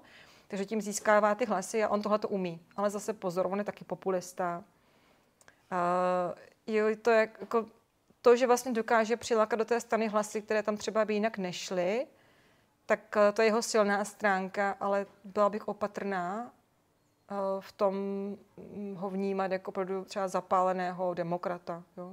Jedna věc je, co říká, a druhá věc je, jaký by byl, kdyby najednou začal řídit jako v prezidentském systému 80 milionovou zemi. Na to jako neznám, abych dokázala se za něho třeba zaručit, že to opravdu jako bude demokrat. Ale určitě to bude mít velký dopad. Bude to zajímavé ještě, co se bude dít dál. A určitě spokojený nebyl. Chtěl bych se zeptat, jaký, jak se dnes pohlíží v Turecku, případně různé frakce, na e, osmanskou říši, protože z určitého hlediska se dá považovat za analogii Evropské unie. Je to taky nadnárodní nebo uspořádání, které pod určitou hierarchií združovalo různé národy a země. Děkuji za, předem za odpověď. Osmanská říše, tam je, uh, oni určitě ji vnímají, že prostě byla jiná než ty evropské říše, že byla, měla tu náboženskou toleranci, a což teda měla uh, větší než uh, po 30 leté v Evropě, uh, že, vlast, že vlastně byla symbolem té síly, um, pro část lidí, určitě pro takové ty jakoby pravověrné tradiční kemalisty, by měli velmi podobný postoj, jako měl k osmanské říši a Tatruží vnímal jako problém. Uh, nebo to, co se z ní stalo, uh, jako problém, tu neschopnost jakoby reformy a modernizace. Uh, určitě došlo k posunu k tomu, že se třeba jako mohli vrátit a navštívit Turecko potomci posledního sultána, i když taky různé názory a někteří z nich podpořili třeba Erdoana, jak to potom vadilo a podobně. Um, je to takový jako velmi nevyvážený pohled. On je samozřejmě nejvíce ovlivněn tím, jak se o osmanské říši učí v turecké učebnici. Tam byl hrozně učebnici. Tam byl strašně hezký projekt, který udělala jedna turecká univerzita před pár lety, kdy vzali uh, turecké učebnice dějepisu pro střední školy a přehodili tam slova. Jo, takže tam, kde byl Turek, tam byl Brit, tam, kde byl muslim, tam byl křesťan a prostě přehodili to celé a pak jim to dali. A oni to četli a ti studenti si stěžovali, že to je strašně jako takové jednostranné a že to je prostě jako úplně... A jenom jeden, to bylo 100 studentů, jenom jeden poznal, že to je učebnice a že to je přehozené. Jo? Takže se vlastně stejně jako my se učíme taky tady jako nějaký příběh o té říši jenom z pohledu toho, jak se nás třeba dotkla, a zbytek vlastně neznáme, jaké bylo fungování uvnitř osmanské říše, jaká, jak to byl systém, to nebyl vůbec feudální systém a podobně. Nevíme vlastně skoro vůbec nic, tak pro ně platí to stejné. Se jakoby učí historii těch turkických národů a pak se učí samozřejmě jako osmanskou říši, kterou logicky sami sobě popisují jako velmi tolerantní a zdatnou a všechno uh, dobrý, než potom, když začali zrazovat ty etnické skupiny a ty náboženské skupiny a že vlastně ti to potom jakoby rozbili a že, a když to hodně jakoby zjednoduším, tak a, si jako nevážili toho, co mají. No? Že vlastně ta, ta vláda byla vlastně lepší, než třeba ten zmatek, který nastal potom. Ale ten obecný postoj je takový hodně a, rozporuplný. A třeba právě i to Erdoganovo hodně zvýrazňování té neosmanské politiky, zahraniční politice potom vede k tomu, že třeba ti hodně sekulární lidé nebo lidé, jakoby, kteří jsou hodně věrní odkazu Ataturka, nechtějí, jo, aby se, aby se tohle zdůrazňovalo a že toho jakoby, že zneužívá to, toto téma. A, a naopak třeba lidé, kteří podporují tady tenhle ten přístup, tak vidíte často, že mají na třeba autech eh, jeden podpis jednoho toho sultána, takový jako Sulejmana, eh, toho, který dobil téměř vše. Jo, že vlastně to je takový jakoby symbol toho, že právě náleží k té osmanské tradici. Turecká vláda, nebo tedy Erdogan, hodně podporuje kulturní produkci, která jakoby eh, idealizuje osmanskou říši je to asi jako když v 80. letech za Margaret Thatcher byly najednou takové ty velkofilmy, které úplně jako idealizovaly to britské koloniální panství, jak tam jako přinášeli modernizaci a všechno bylo krásné a Británie byla silná a všichni prostě leželi u nohou aby podpořila vlastně také ten, ten nacionalistický prvek eh, v rámci, v rámci Británie. Tak eh, tady ty seriály nejsou až tak úplně oblíbené, ale třeba v arabských zemích i na Slovensku, na Balkáně, jsou velmi oblíbené. Jsou takové historizující, ale velmi ideologické seriály o osmanské říši a o těch různých jako sultánech. Ono takové jako pěkné, jsou ty princezny, že jo, a takové. Ale právě tím, že často lidé bohužel historii se učí z těchto typů produkcí, tak uh, oni vlastně jakoby šíří ten kulturní na ten Balkán, jo? že vlastně na tom Balkáně, když se potom díváte na to, představují vám tu zemi nebo tu říši jako vlastně strašně tolerantní, otevřenou, prosperující, tak uh, měníte jakoby příběh těch zemí, jo? že oni se učili o tom, uh, o tom jihu pod osmanskou říší a ona se teďka snaží to Turecko jakoby vlastně vydávat jiný příběh. A je to tam velmi oblíbené, ty seriály. Takže určitě to se snaží. Přeslechl jsem se, že i na Slovensku je to? I na Slovensku, ano. Tady běžela taková zvláštní linie, že když vlastně, to je jakoby vel, velmi silný vývozní artikl Turecka, jsou filmy, hlavně seriály, a tady byla taková zvláštní linie, která končila mezi náma a Slovenskem. Když to tady zkoušeli dávat do toho prime timeu, tak to neuspělo, ale na Slovensku ano. Je to tam velmi oblíbené. Takže jako taky to tady běží, taky se na to lidé dívají, ale jako není to, to se běží 8 prostě no, v úterý večer. Eh, a právě tohle třeba je jedna z těch věcí, kterou Turecko pochopilo, a asi se to jako učilo od těch eh, bývalých koloniálních říší po konci studené války, že je velmi důležité budovat ty kulturní vazby na ty země. Takže oni často přicházeli do těch zemí, jako je třeba Balkán, ale třeba i do afrických zemí, do střední Asie, a tam zakládali školy, to hlavně to Gulenovo hnutí, ale potom i jiné. Zakládali tam školy, velmi kvalitní školy, třeba s výukou potom v angličtině, kde potom oni přicházeli na uh, univerzity do Turecka a tam tu třeba potom na západní prestižní univerzity, uh, kde podporovali třeba ten místní jakoby, ekonomický rozvoj, měli tam spoustu podpory podnikání v těchto těch zemích a tím vlastně šířili právě jakoby tu, tu měkkou sílu Turecka. No. A tam potom pronikají skrze to ti, ti, ten turecký obchod a jako jiným způsobem, než to třeba dělá ta Čína, úplně jiným způsobem. Ale problém byl v tom, že jak to vlastně primárně dělali přes to Gulenovo hnutí, tak ve chvíli, kdy se ta aliance neformálně rozpadá, tak o to vlastně přichází. Oni se to potom pokouší různě jako navázat na tu tradici, ale uh, to hnutí fungovalo hodně na dobrovolnické aktivitě, kterou jako nenahradíte, když nemáte tu, tu, tu pracovní sílu. Jo? Ty lidi nebo věří a, a dělají to, protože si myslí, že to je něco, uh, co pro ně má smysl. Ale určitě ta kulturní síla je tady obrovská, kterou Turecko v některých těch zemích má. Děkuji. Dáme teď prostor do chatu. Eh, ano, máme tady tři otázky, tak pojďme na ně. První, jaký je vliv odborů v turecké společnosti? Hm. No, to moc ne. Ale je určitě vidět, že právě uh, teďka v těch komunálních volbách bylo vidět, že Erdogan ztratil některé ty velmi průmyslové oblasti, kde měl podporu vlastně celou tu dobu, co, byl, co, je, v čele, co je v čele Turecka protože právě na ně jakoby dopadla ta krize posledních měsíců úplně nejvíc. Nicméně odbory jako takové, ta opoziční strana hlavní, jakoby, co bychom považovali za sociální demokracii, ale právě kvůli i tomu eh, těm velmi bořlivým 70. letům se vlastně tou popučovou ústavou zásadně omezil jakákoliv spolková činnost což teda samozřejmě dopadlo i na ty odbory. Jo, protože oni tam vlastně vnímali, že to je jedno z těch míst, kde se potom vytváří právě ty skupiny lidí, kde se vlastně potkávají, jo, kteří potom třeba protestují na těch ulicích a podobně. Tam je silná levice, určitě spousta levicových stran, ne, že by byli v parlamentu, ale jsou tam, včetně, uh, včetně komunistické, jsou několik různých marxistických stran a podobně. Um, ale určitě v tom jakoby systému, který tam je, to je takový jako hodně, hodně neoliberální kapitalismus, Eh, se zvláštními prvky jakoby levicových praktik. Jo? To je takové jakoby, asi nejpodobnější ekonomicky je Turecku-Řecko, včetně jako různých takových jako syndikátů, které tam fungují, třeba taxíky. Uh, ale zároveň je to zase v jiných oblastech jako brutální kapitalismus.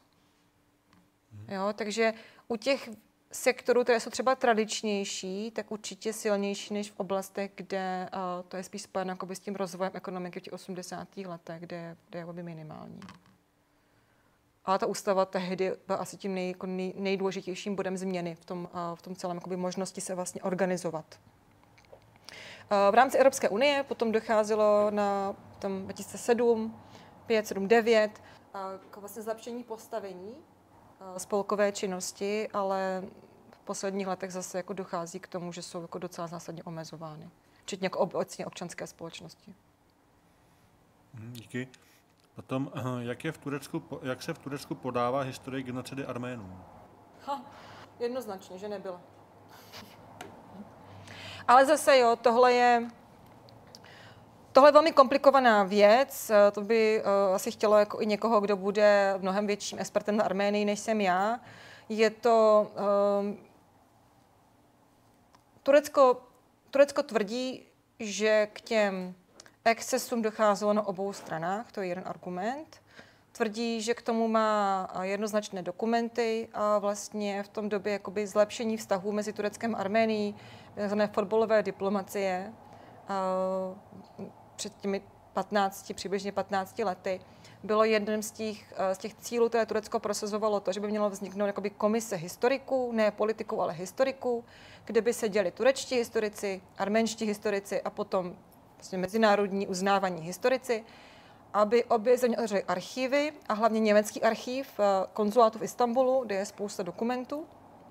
A aby došlo k takové smírčímu výboru, kde by obě ty strany si prostě řekly, k čemu tam došlo, proč tomu došlo a tím by se jakoby ten konflikt ne jakoby vyřešil, ale prostě, že by se došlo k nějakému mírovému roz, prostě rozřešení na obou stranách. Turecko se obává, že když to udělá samo, tak bude Arménii vyžadovat reparace a že bude muset Turecko něco Arménii platit. Um, Potom je tam další ještě aspekt eh, toho problému v tom, že Turecko říká, že není osmanská říše, že je nástupnický stát. A že k tomu došlo v době osmanské říše a ne Turecké republiky. A tím třetím argumentem je, že právo nefunguje zpětně a že mluva o genocidě vzniká až po druhé světové válce. A posledním argumentem, který používá také často, je, ať se tady potom podíváme na jiné země, jak se třeba chovali osadníci ve Spojených státech původním obyvatelstvu, a kde tedy je ta hranice, kdy ještě jako už to označujeme, už genocidu, protože to se jako první, že nás to také učili ve škole, prostě že první genocida byla genocida Arménů. A proč tady nemůžeme více do historie a proč se nepodíváme jako ještě na jiné, eh, jiné případy a co tedy vlastně v té historii Evropy je a není považováno za, za genocidu. Jo, asi největší problém, co se může stát, je, když, z mýho pohledu, když se to stane někde zákonem. Jo, protože tím se vlastně úplně omezuje ta možnost o tom komunikovat a nějak to jakoby rozřešit. Protože nakonec to musí být mezi Arménií a Tureckem. Tady obrovskou roli hraje arménská diaspora, která je velmi silná. Mimochodem období, kdy tedy Francie dvakrát chtěla uzákonit, eh, že se nesmí popírat arménská genocida. Protože to bylo Sarkozyho, který potřeboval nutně podporu v Marseille, kde žije velká arménská komunita. Dvakrát to francouzský ústavní soud zamítl, že tohle prostě není možné, to jako není součástí toho francouzského právního systému. A určitě eh, to potom vedlo vlastně, Švýcarsko tam potom přijel jeden z tureckých politiků a tam si stoupil a řekl to nahlas, teďka mě zatkněte. Jo, že je to považováno za jakoby zase krok vlastně proti Turecku, protože tehdy tu dohodu mezi Tureckem a Arménií uh, během té, toho jakoby zlepšení vztahu uh, ukončila Arménie. A aspoň jako z toho, co, co já jsem se dožetla, protože nejsem expert na Arménii, to bylo kvůli tomu, že uh, arménský prezident musel ustoupit právě arménské diaspoře, která je silným zdrojem příjmu pro arménský rozpočet. Jo, takže samotná Arménie kvůli své poloze, ona vlastně jakoby vytěžila z toho, kdyby se zlepšily vztahy s Tureckem jednoznačně. Um, je v rámci své závislosti na Rusku, jo, z tohohle, z tohohle pohledu. Ale ta vůle tam prostě není. A Turecko to vykladalo potom tak, že my měli vůli, my chtěli výbor, my chtěli, jsme se potkali, Arménie to ukončila, ale my jsme za to trestáni tím, že potom ty země některé tedy se rozhodnou, že budou mít zákon na, proti popírání arménské genocidy a tvrdí, já jsem viděla několik uh, pre- prezentací uh, tureckých poslanců, kde vlastně ukazovali jakoby ty zločiny páchané na turecké obyvatelstvo v té oblasti, na kurdské obyvatelstvo v té oblasti, jakoby arménskými milicemi, Jo, ale já prostě, to jsou přesně ty chvíle, kdy nejste odborník, nejste historik a potřebujete, aby lidé tomu věnují, znají to, vyhodnotili vlastně všechny ty argumenty a hlavně umožnili těm stranám dojít nějakému smíření, jo, protože asi jiná cesta k tomu není. Ale není to úplně k diskuzi v Turecku, není snadné to otevřít, rozhodně ne. No. Díky, tak máme dvě otázky na život, dvě z chatu, tak teď na život zase někdo. Ještě tu třetí z chatu. Tak eh, ta třetí, to je vlastně eh, faktická poznámka zakončená otázkou na váš postoj, na váš názor. Děkuji za výbornou přednášku. Turecko a jeho milice kontrolují 10% Sýrie za pomoci islamistických sil, ovládá civilní správní orgány, poturečtuje názvy ulic, vyhnal podstatnou část původních obyvatel. Podstatě expanze do jiného státu. Z mezinárodní scény nezaznívá žádná kritika. Proč? Jaký je postoj? Jaký je váš postoj k této situaci?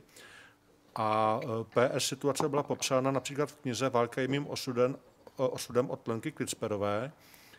A pak stejný tazatel se tady ještě ptá, a jaký je postoj turecké společnosti vůči z mého pohledu této expanzivní politice, včetně sporu o jiná území s Tureckem, Kyprem a společně a, a tak dále. Nezájem, žádoucí posílení identity velmoci moc, moc komplexní? Tak uh, já Lenku Klicperovou znám a nesouhlasím s tím vůbec v ničem. No, její způsob žurnalistiky je mi naprosto cizí a spíš než žurnalistika je to jako manipulace podle mě, a já jako neznám osobně, jo, ale z toho, z toho reportování, jak prostě z náhodního Karabachu, tak ze severní Sýrie, případně z té hranice a podobně, to je prostě jako já s tím vůbec nedokážu, já to dostala číst upřímně, protože um, uh, je to spíš jakoby nějaká prezentace nějakého postoje na základě rozhovoru s nějakými lidmi. Turecko rozhodně nekontroluje severní Syrii, já jsem to vysvětlovala vlastně i v tom, že tam je to velké riziko právě toho Ruska, protože Rusko tam drží tu, eh, ten prst na tom, jediné, na tom jednom z těch měst, které vlastně by mohlo vypustit další vlnu uprchlictví. Eh, tam jde o to, že eh, ta severní hranice Sýrie dlouhodobě byla velmi etnicky promíchaná. A jak jsem to říkala i u té Hata, je to vlastně podobný problém, že tam žili Turkméni, jakoby turkické národy, potom žili Turci, potom tam žili různé Kurdové, pak tam žili, pak tam žili samozřejmě Syřané, jako Arab, Arab, arabské obyvatelstvo. A jak to bývá nakonec v tom Libanonu, jo, ne každý Arab je muslim, ne každý Arab, uh, někteří jsou křesťané, pak jsou tam ti židé, prostě velmi promíchaná oblast, je vlastně celé to Alepo. Um, a tam dochází z různých stran k tlakům na to, aby získali vlastně většinu. Jo? A rozhodně to není jenom snaha těch turkických eh, kmenů, nebo kmenů, eh, obyvatel.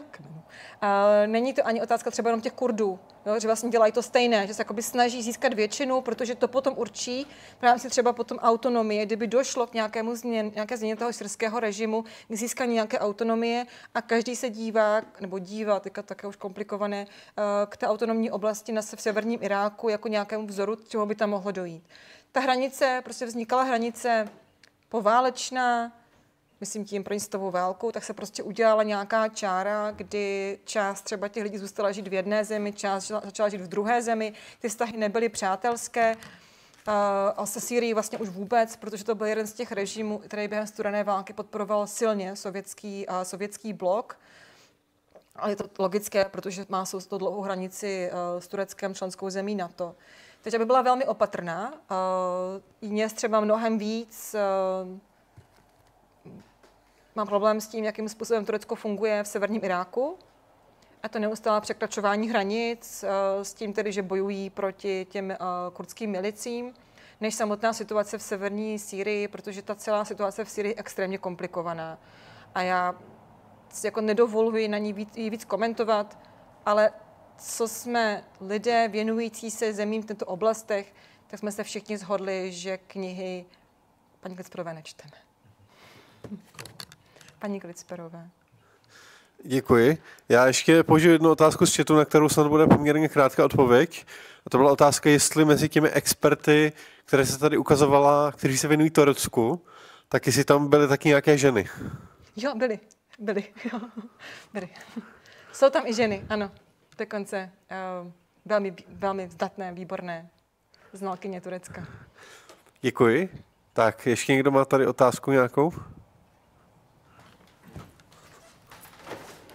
Já jsem se chtěl jenom zeptat na tu eh, tro, trošku eh, kurdskou menšinu, ale možná jsem to prošvihnul, když jsem tu nebyl.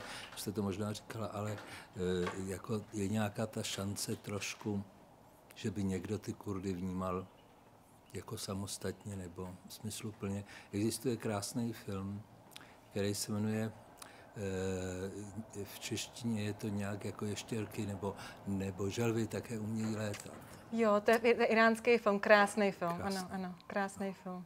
A, je to vlastně o dětech, kteří žijou v tom kurdském, v té kurdské oblasti. a jsou bez nohou, bez rukou, protože prostě vši, všichni nějak do, to, do té války vstoupili a vstoupili bohužel jako děti. Ale jestli se tam něco pohnulo, nebo to už je tak 10 let starý film. No. To se jmenuje Turtles Can Fly. Iránský kurdský režisér, to je právě uh, vlastně v rámci války v uprchlickém táboře a pojednávat o tom příběhu. Ono to je, ta otázka je velmi těžká, protože jedna věc je v tom, že právě i ten Turgut Ezal byl Kurd. Takže na jednu stranu vám můžou říct, že vlastně v té společnosti máme celou historii lidí a vlastně jeden z nejbližších spolupracovníků, a to Turka byl Kurt, jo, že vlastně se jakoby dostávají k moci. Je to podobné, jako když vám někdo řekne, že v Americe není rasismus, protože Obama byl prezident. Jo, přece, tak máme černého prezidenta, tak přece, co? Takže to je jeden problém. Um, tam jsou samozřejmě, to oblast je velká, žije tam velké množství lidí. Uh, I v rámci té, jakoby, nemůž, ono se jako mluví o Kurdech, ale tam také jsou velké rozdíly, i třeba jazykové rozdíly. Ten, uh, oni neměli dlouho psaný jazyk, takže jsou tam obrovské rozdíly v dialektech. Uh, aby ti lidé se vlastně vůbec rozuměli, jsou kurdové, kteří jsou jakoby velmi, velmi silně věřící, pro ty tedy PKK nikdy nebude možnost, protože to prostě bylo primárně definováno jako marxistická organizace. Uh, jsou lidé, kteří žijí v té Mezopotámii, která je pořád obrovsky úrodným uh, prostorem. A tam třeba pěstují teda mimo jiné bavlnu, obrovskými prostě zisky každý rok a zároveň jsou tam ty lidé, kteří přicházeli z hor, které vytláčela turecká armáda v rámci boje proti PKK z hor a nutila je vlastně přicházet do těch údolí, kde oni nic neměli. Teď se na ně dívali skrz prsty, protože prostě jsou to nevzdělaní tam od někud prostě chudina z hor. Pak přicházeli kurdové ze severního Iráku, ty jsou taky prostě jiní, než uh, mají určité samozřejmě jakoby společné body, ale třeba když v rámci Erdoganovy vlády se potom už uh, uzákonila možnost mluvit kurdsky, která byla zakázána od té 80. Uh, té ústavy, dokonce na tureckých starých psacích strojích chyběla písmena X dvojité V, protože turečtina je nemá a kurčtina je má. Uh, takže když se třeba podíváte i na klávesnici, tak je tam, jako jsou tam dvě turečtiny. Jedna je jako už normální, se všema písmenama, a pak je tam, protože se učili psát uh, uh, na té staré klávesnici, tak aby měli ty stejné, že jo, ty klíče, tak uh, je tam ještě jedna. A zároveň třeba nikomu nevadilo, že je prostě v Ankaře rádio, které se jmenuje World, a má tam dvojité V. Jo? Ale prostě nesměla se dávat kurdská jména. A oni tohle to zrušili, zavedli třeba kurzy jako kurčtiny na univerzitách, dokonce tam založili univerzity, spustili televizní program, rádiový program. A třeba můj kamarád Kurt eh, do toho televizního programu šel jako na pozvání a dostával třeba jako výhrušky od jiných Kurdů, že tam chodí a že vlastně podkuřuje tomu systému. No, že pro spoustu lidí je to příliš málo, příliš pozdě, pro někoho je to dobře a pro někoho chtějí vlastně mnohem víc a každou spolupráci s tím systémem vnímají jako zradu. Takže jakoby, já, já jsem jakoby asi, já teda jsem nemluvila někdy s někým, kdo by byl nějak napojený na PKK, ale s Kurdy, se kterými jsem mluvila já, tak vlastně žádný z nich nikdy nespochybňoval, že by nechtěl být součástí Turecka. Oni se vnímají jako Turci, jako turečtí občané. Oni jsou často velmi jakoby pišní na, to, na Turecko, ale zároveň je tam ten problém právě s tím, jakým způsobem ten systém je uh, vnímá, jak je Uh, jak vlastně nemůžete být sami sebou a ten správný je integrovaný kurt, jo? to je jak ti, to je jak ti, uh, ti v Německu. Určitě je problém třeba v té diaspoře, kde lidé druhé, třetí generace, a to samozřejmě věnuje jedna právě z těch badatel, co tam byla napsaná, uh, třeba v Turecku uh, nikdy nebyli, ale jsou velmi velmi radikální v těch postojích vůči Turecku, protože mají ten příběh rodiny, která odcházela v 80. letech a ty důvody, proč odcházeli, kvůli teda té silné persekuci. A teďka třeba ty děti a děti jsou jako radikálnější, než byly, než byly ty rodiče. Jo, mimochodem, to že se jako srovnával, ale podobné třeba s islamistickým radikalismem, že se to vlastně jako přetáčí potom do té další generace. Takže je velmi těžké říct, um, jaká by třeba z toho byla cesta ven. Um, nevidím teďka v Turecku to, co třeba fungovalo v tom severním Irsku, že by se prostě uznala uh, nějakým způsobem legitimita PKK výměnu za to, že prostě dojde k tomu eh, smíření rozdání zbraní a že by třeba ti vůči představitelé PKK byli jakoby včleni do toho systému jako Gary Adams, a tím pádem jakoby garantovali ukončení aktivity samotné PKK. Tam potom vzniklo ještě další křídlo, to jsou, ti, eh, to jsou to, to městská, zatímco tedy tradiční PKK útočila vždycky na ty silové složky, tak ta nová útočí potom na to obyvatelstvo ve městech, což je mnohem nebezpečnější, protože je to prostě méně předvídatelné a uh, umožňuje to potom tomu režimu mít ty velmi striktní protiteroristické zákony, které vlastně lze použít na jakéhokoliv oponenta režimu. Jo, protože Prostě to reálné riziko to opravdu je.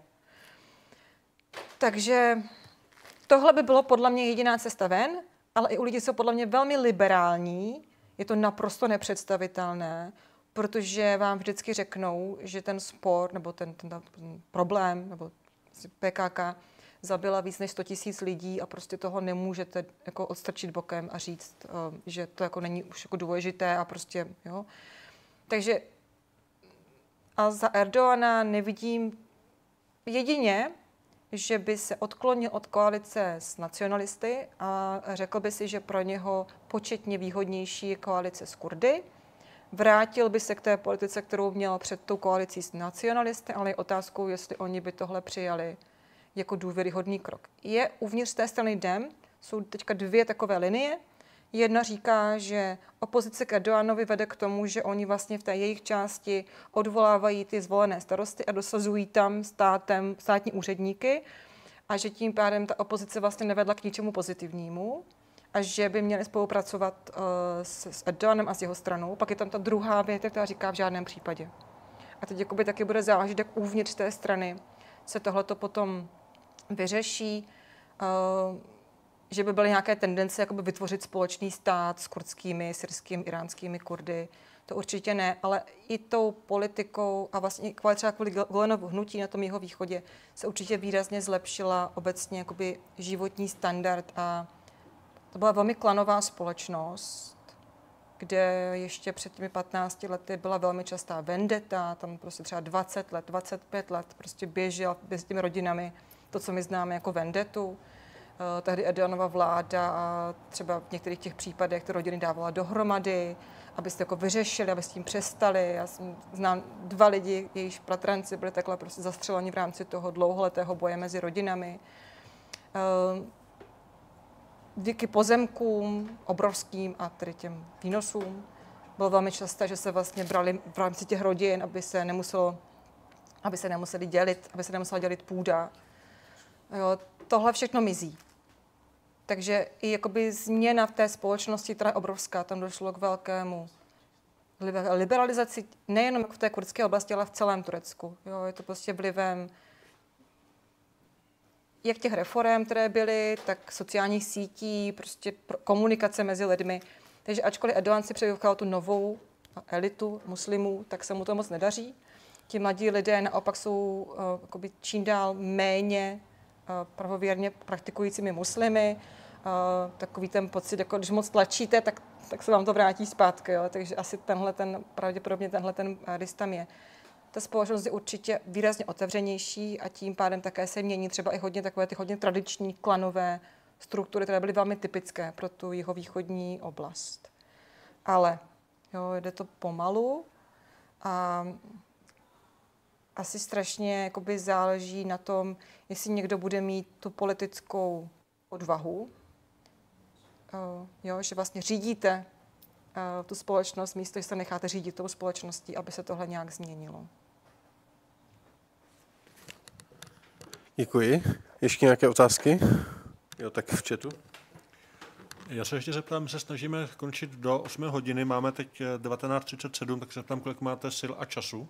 jo, klidně, ještě, ještě chvilku. Tak eh, je tady otázka na systém organizace a přístup ke vzdělání základní školy, docházka, její délka, možnost studovat v zahraničí, přijímání na školy a podobně.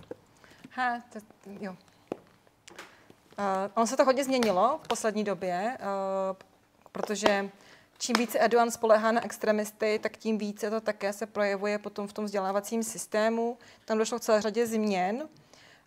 Um, obecně je prostě povinná školní docházka, Eh, v šesti letech eh, nastoupíte do školy a potom je, vlastně, jsou tři stupně toho základního vzdělávání a potom jsou, uh, jsou střední školy. Když jsem tam přijela, tak jsem si říkala, jak je to super, že nemáme uh, ten systém, jako je CERMAT, který tam funguje. Mezi tím teda jsme měli potom taky. Je to potom stejný problém v tom, že vlastně ty děti, aby se dostaly na tu střední školu, tak stejně jako tady musí chodit na ty soukromé kurzy, aby se doučili na ty přijímačky. A to právě byl mimochodem ten zdroj příjmu pro to Gulenovo hnutí, jo, že zakládali tady ty školy, které vlastně vás doučují na to, abyste mohli ty přijímačky jít. Tam je obrovská konkurence, že jo, prostě 80 milionů lidí, mladá populace, takže obrovská konkurence. A na základě potom těch testů se dostáváte na střední školy a potom to stejné platí i pro vysoké školy. Uh, tam potom to vede třeba k tomu, že vy v těch testech mezi střední a vysokou školou uspějete s nějakým počtem bodů a to vám řekne, na jakou katedru a univerzitu se můžete hlásit. A ty mají podle historických uh, výsledků. Takže když se na určitou fakultu nebo katedru hlásí prvních 100 z celého Turecka, tak jí se zvedá ten rating. A potom se zvyšuje počet bodů, které musíte dostat i vy. Takže z řada mých studentů se hlásila ne podle toho, kam chtějí jít, ale kam jim stačily body. Jo? Takže mě třeba, jsem měla třeba kamaráda, který skončil na, na nejprestižnější istambulské univerzitě na managementu, tam je těžké se dostat, ekonomie a management, nenáviděl matematiku, nenáviděl statistiku, ale měl výborné výsledky a to bylo to nejlepší, kam se mohl dostat. Jo? A já jsem se ho potom ptala, jako říkám, tak jako baví tě to, jak jsi to vybíral, on, kam stačily body, tam jsem šel. Jo? A to je vlastně, protože třeba to jsou potom ty nejprestižnější vlastně potom ty tituly, s kterým odcházíte z těch vysokých škol. A třeba třeba ta ekonomii zrovna do těch velkých bank na ty nejvyšší posty přijímají pouze student, nebo lidi, kteří odešli z těch dvou nejprestižnějších kateder v zemi. Jo? Takže oni to samozřejmě ví, že to takhle funguje. A ta třetí, co tam je, řeknu, no tak jako když nejsou z těch dvou, tak z téhle možná ještě jo. jo? A tam je takový jako skleněný strop, a když nemáte to ze správné školy nebo správné katedry, tak prostě ten strop jako neprorazíte, pokud nemáte vlastní firmu nebo vlastní banku. Ten systém je strašně náročný, protože je velmi, tam je obrovská konkurence samozřejmě, obrovské množství mladých lidí, je tam velmi vysoká nezaměstnanost mezi mladými lidmi, takže vlastně i s vysokou kvalifikací v té současné recesi, ale i předtím je velmi těžké sehnat nějakou práci, byla kvalifikovaná a na každé to místo je to tak, že je tam prostě dalších 50 lidí, co na to místo budou hlásat v těch velkých městech, kde je velmi vysoké náklady na život, extrémně vysoké náklady na život. Istanbul je velmi drahé město. Um, a dřív uh, bylo náboženství jakoby povinně nepovinné, teď je čím dál více povinné a přidává se těch hodin. Uh, ty ale oficiálně uznané lozanské menšiny, arménská, řecká a židovská, tohle mají vlastní školy a nemusí. Uh, teď také, když se vám narodí dítě, že to bylo vždycky automaticky napsané občanství, že to jako po náboženství, ale kvůli těm lozánským menšinám, už to tam není a vy můžete říct, že prostě to nechcete. A potom můžete být ne vyloučení, ale můžete se jakoby zdát té náboženské výuky, ale nedělá se to, jo? dělá to málo kdo. Ona by vlastně měla být postavena takové jako nějaké etice, náboženské etice, ale samozřejmě jako s tím, jak se zvyšuje tlak na islamizaci společnosti, tak je to stále víc jako postavené na tom, co ten státní úřad pro náboženství Dianet eh, chce, aby se tam učilo. Je tam systém soukromých a státních škol. Ty státní školy jsou samozřejmě klasické, jsou nosí uniformy. Soukromé školy mají taky uniformy, jsou velmi drahé. Velmi, velmi drahé. Um, to stejné univerzity, státní i, uh, i soukromé a zase jo, platí to tak, že ty soukromé školy jsou velmi drahé, ale podávají třeba stipendia. Takže potom můžete mít, že oni si jakoby vybírají z, toho, z těch nejlepších studentů některé, kteří třeba dávají potom plná stipendia nebo nějaké další výhody, aby si vybrali je, aby si jim zvedal potom uh, ten rating. Ale jsou tam, jako třeba univerzity jsou tam jako velmi dobré univerzity, oni také mají pro mě naprosto úžasný systém, který bych si možná byl tady, že talentované studenty můžou vyslat na nejprestižnější zahraniční univerzity a platí to stát. Takže uh, jsme určité podmínky, tak si můžete zažádat buď o magisterské nebo doktorantské nebo spojené studium. Uh, můžete jít na prestižní univerzity ve Spojených státech, v Evropě, a ten počet let, který jste tam studovali za ty státní peníze, potom dvojnásobek musíte odučit na turecké státní univerzitě. Pro mě to je výborné nejenom kvůli tomu, že prostě ty nadané studenty uh, dostanete na, na místa, kde se prostě doma asi neměli, kvůli síťování, což nám tady samozřejmě strašně chybí. Eh, kvůli tomu, že máte zkušenosti s jinou výukou, s jiným přístupem, s jinými zeměmi. A to se týká všech oborů, prostě od humanitních, společenských, přírodovědné, úplně všechny obory. Spousta třeba studuje eh, jsme se biochemii, pak se vrací zpátky, ředí tam ty celé laboratoře. Takže v tenhle ten systém, v tomhle je velmi propustný. Eh, ty univerzity mají zdroje na nakupování publikací, na zahraniční cesty, když někam, já nevím, jak to je ve vašem oboru, ale minimálně v mém, když někam přijedeme, tak je tam prostě spousta lidí, kteří přijíždí z tureckých univerzit na konference, prostě podporují velké projekty, do kterých se potom zapojují. Takže ten systém je velmi otevřený a v tomhle jako v tomhletom směru funguje velmi dobře. Um, zase ale problém pro lidi, jako jsem já, jako politolog, um, jak se učí turecké dějiny, a jak se učí uh, turecký politický systém a podobně, je velmi uh, hlídáno. Tam bylo takové jakoby, trošku otevření, pak se to zavřelo, ale i v době toho jakoby, největšího otevření. Uh, třeba, uh, když můj kolega měl doktoranda, který psal na kurdskou otázku právě, tak rektor, taková ta autocenzura, jo, rektor z toho měl obavy, tak nakonec to ten student dopsal ve Švédsku. Jo, že se do toho jako nechtěl nikdo pustit. On tu práci vedl, ale potom jako děkan si nebyl jistý, rektor si nebyl jistý, přece jenom furt tam ten článek je, jo, o tom terorismu. Takže je tam hodně autocenzury těch politických věcí, což třeba jako samozřejmě v tom oboru, jako jsem já, není, jako není ideální. No. Dřív tam bylo spousta cizinců, teďka už odchází, protože život pro cizince je dneska v Turecku těžký, ekonomicky velmi těžký. Děkuji.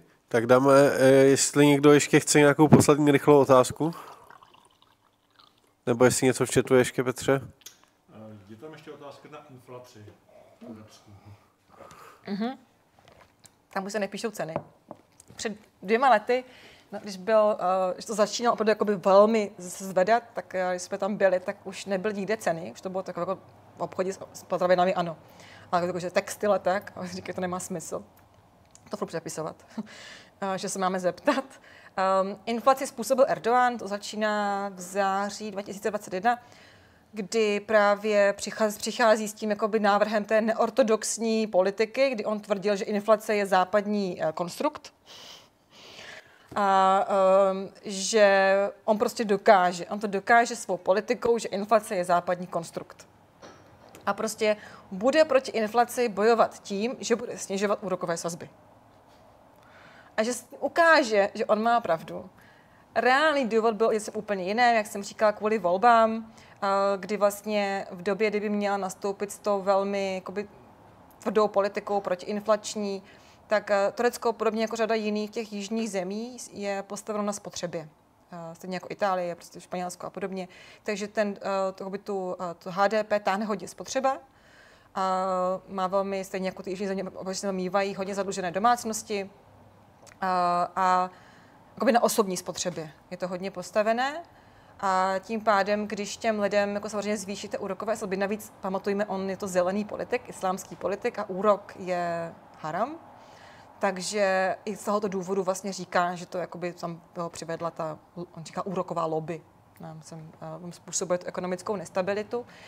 Takže si vlastně kupoval podporu tím, že pumpoval do té ekonomiky stále více peněz. Ta reálná inflace byla kolem té nejhorší době před tím rokem kolem 170-180% Oficiální byla kolem 60 úrokové sazby byly na 5% 4 no. Uh, on to vždycky řešil tím, že měnil uh, guvernéry centrálních bank.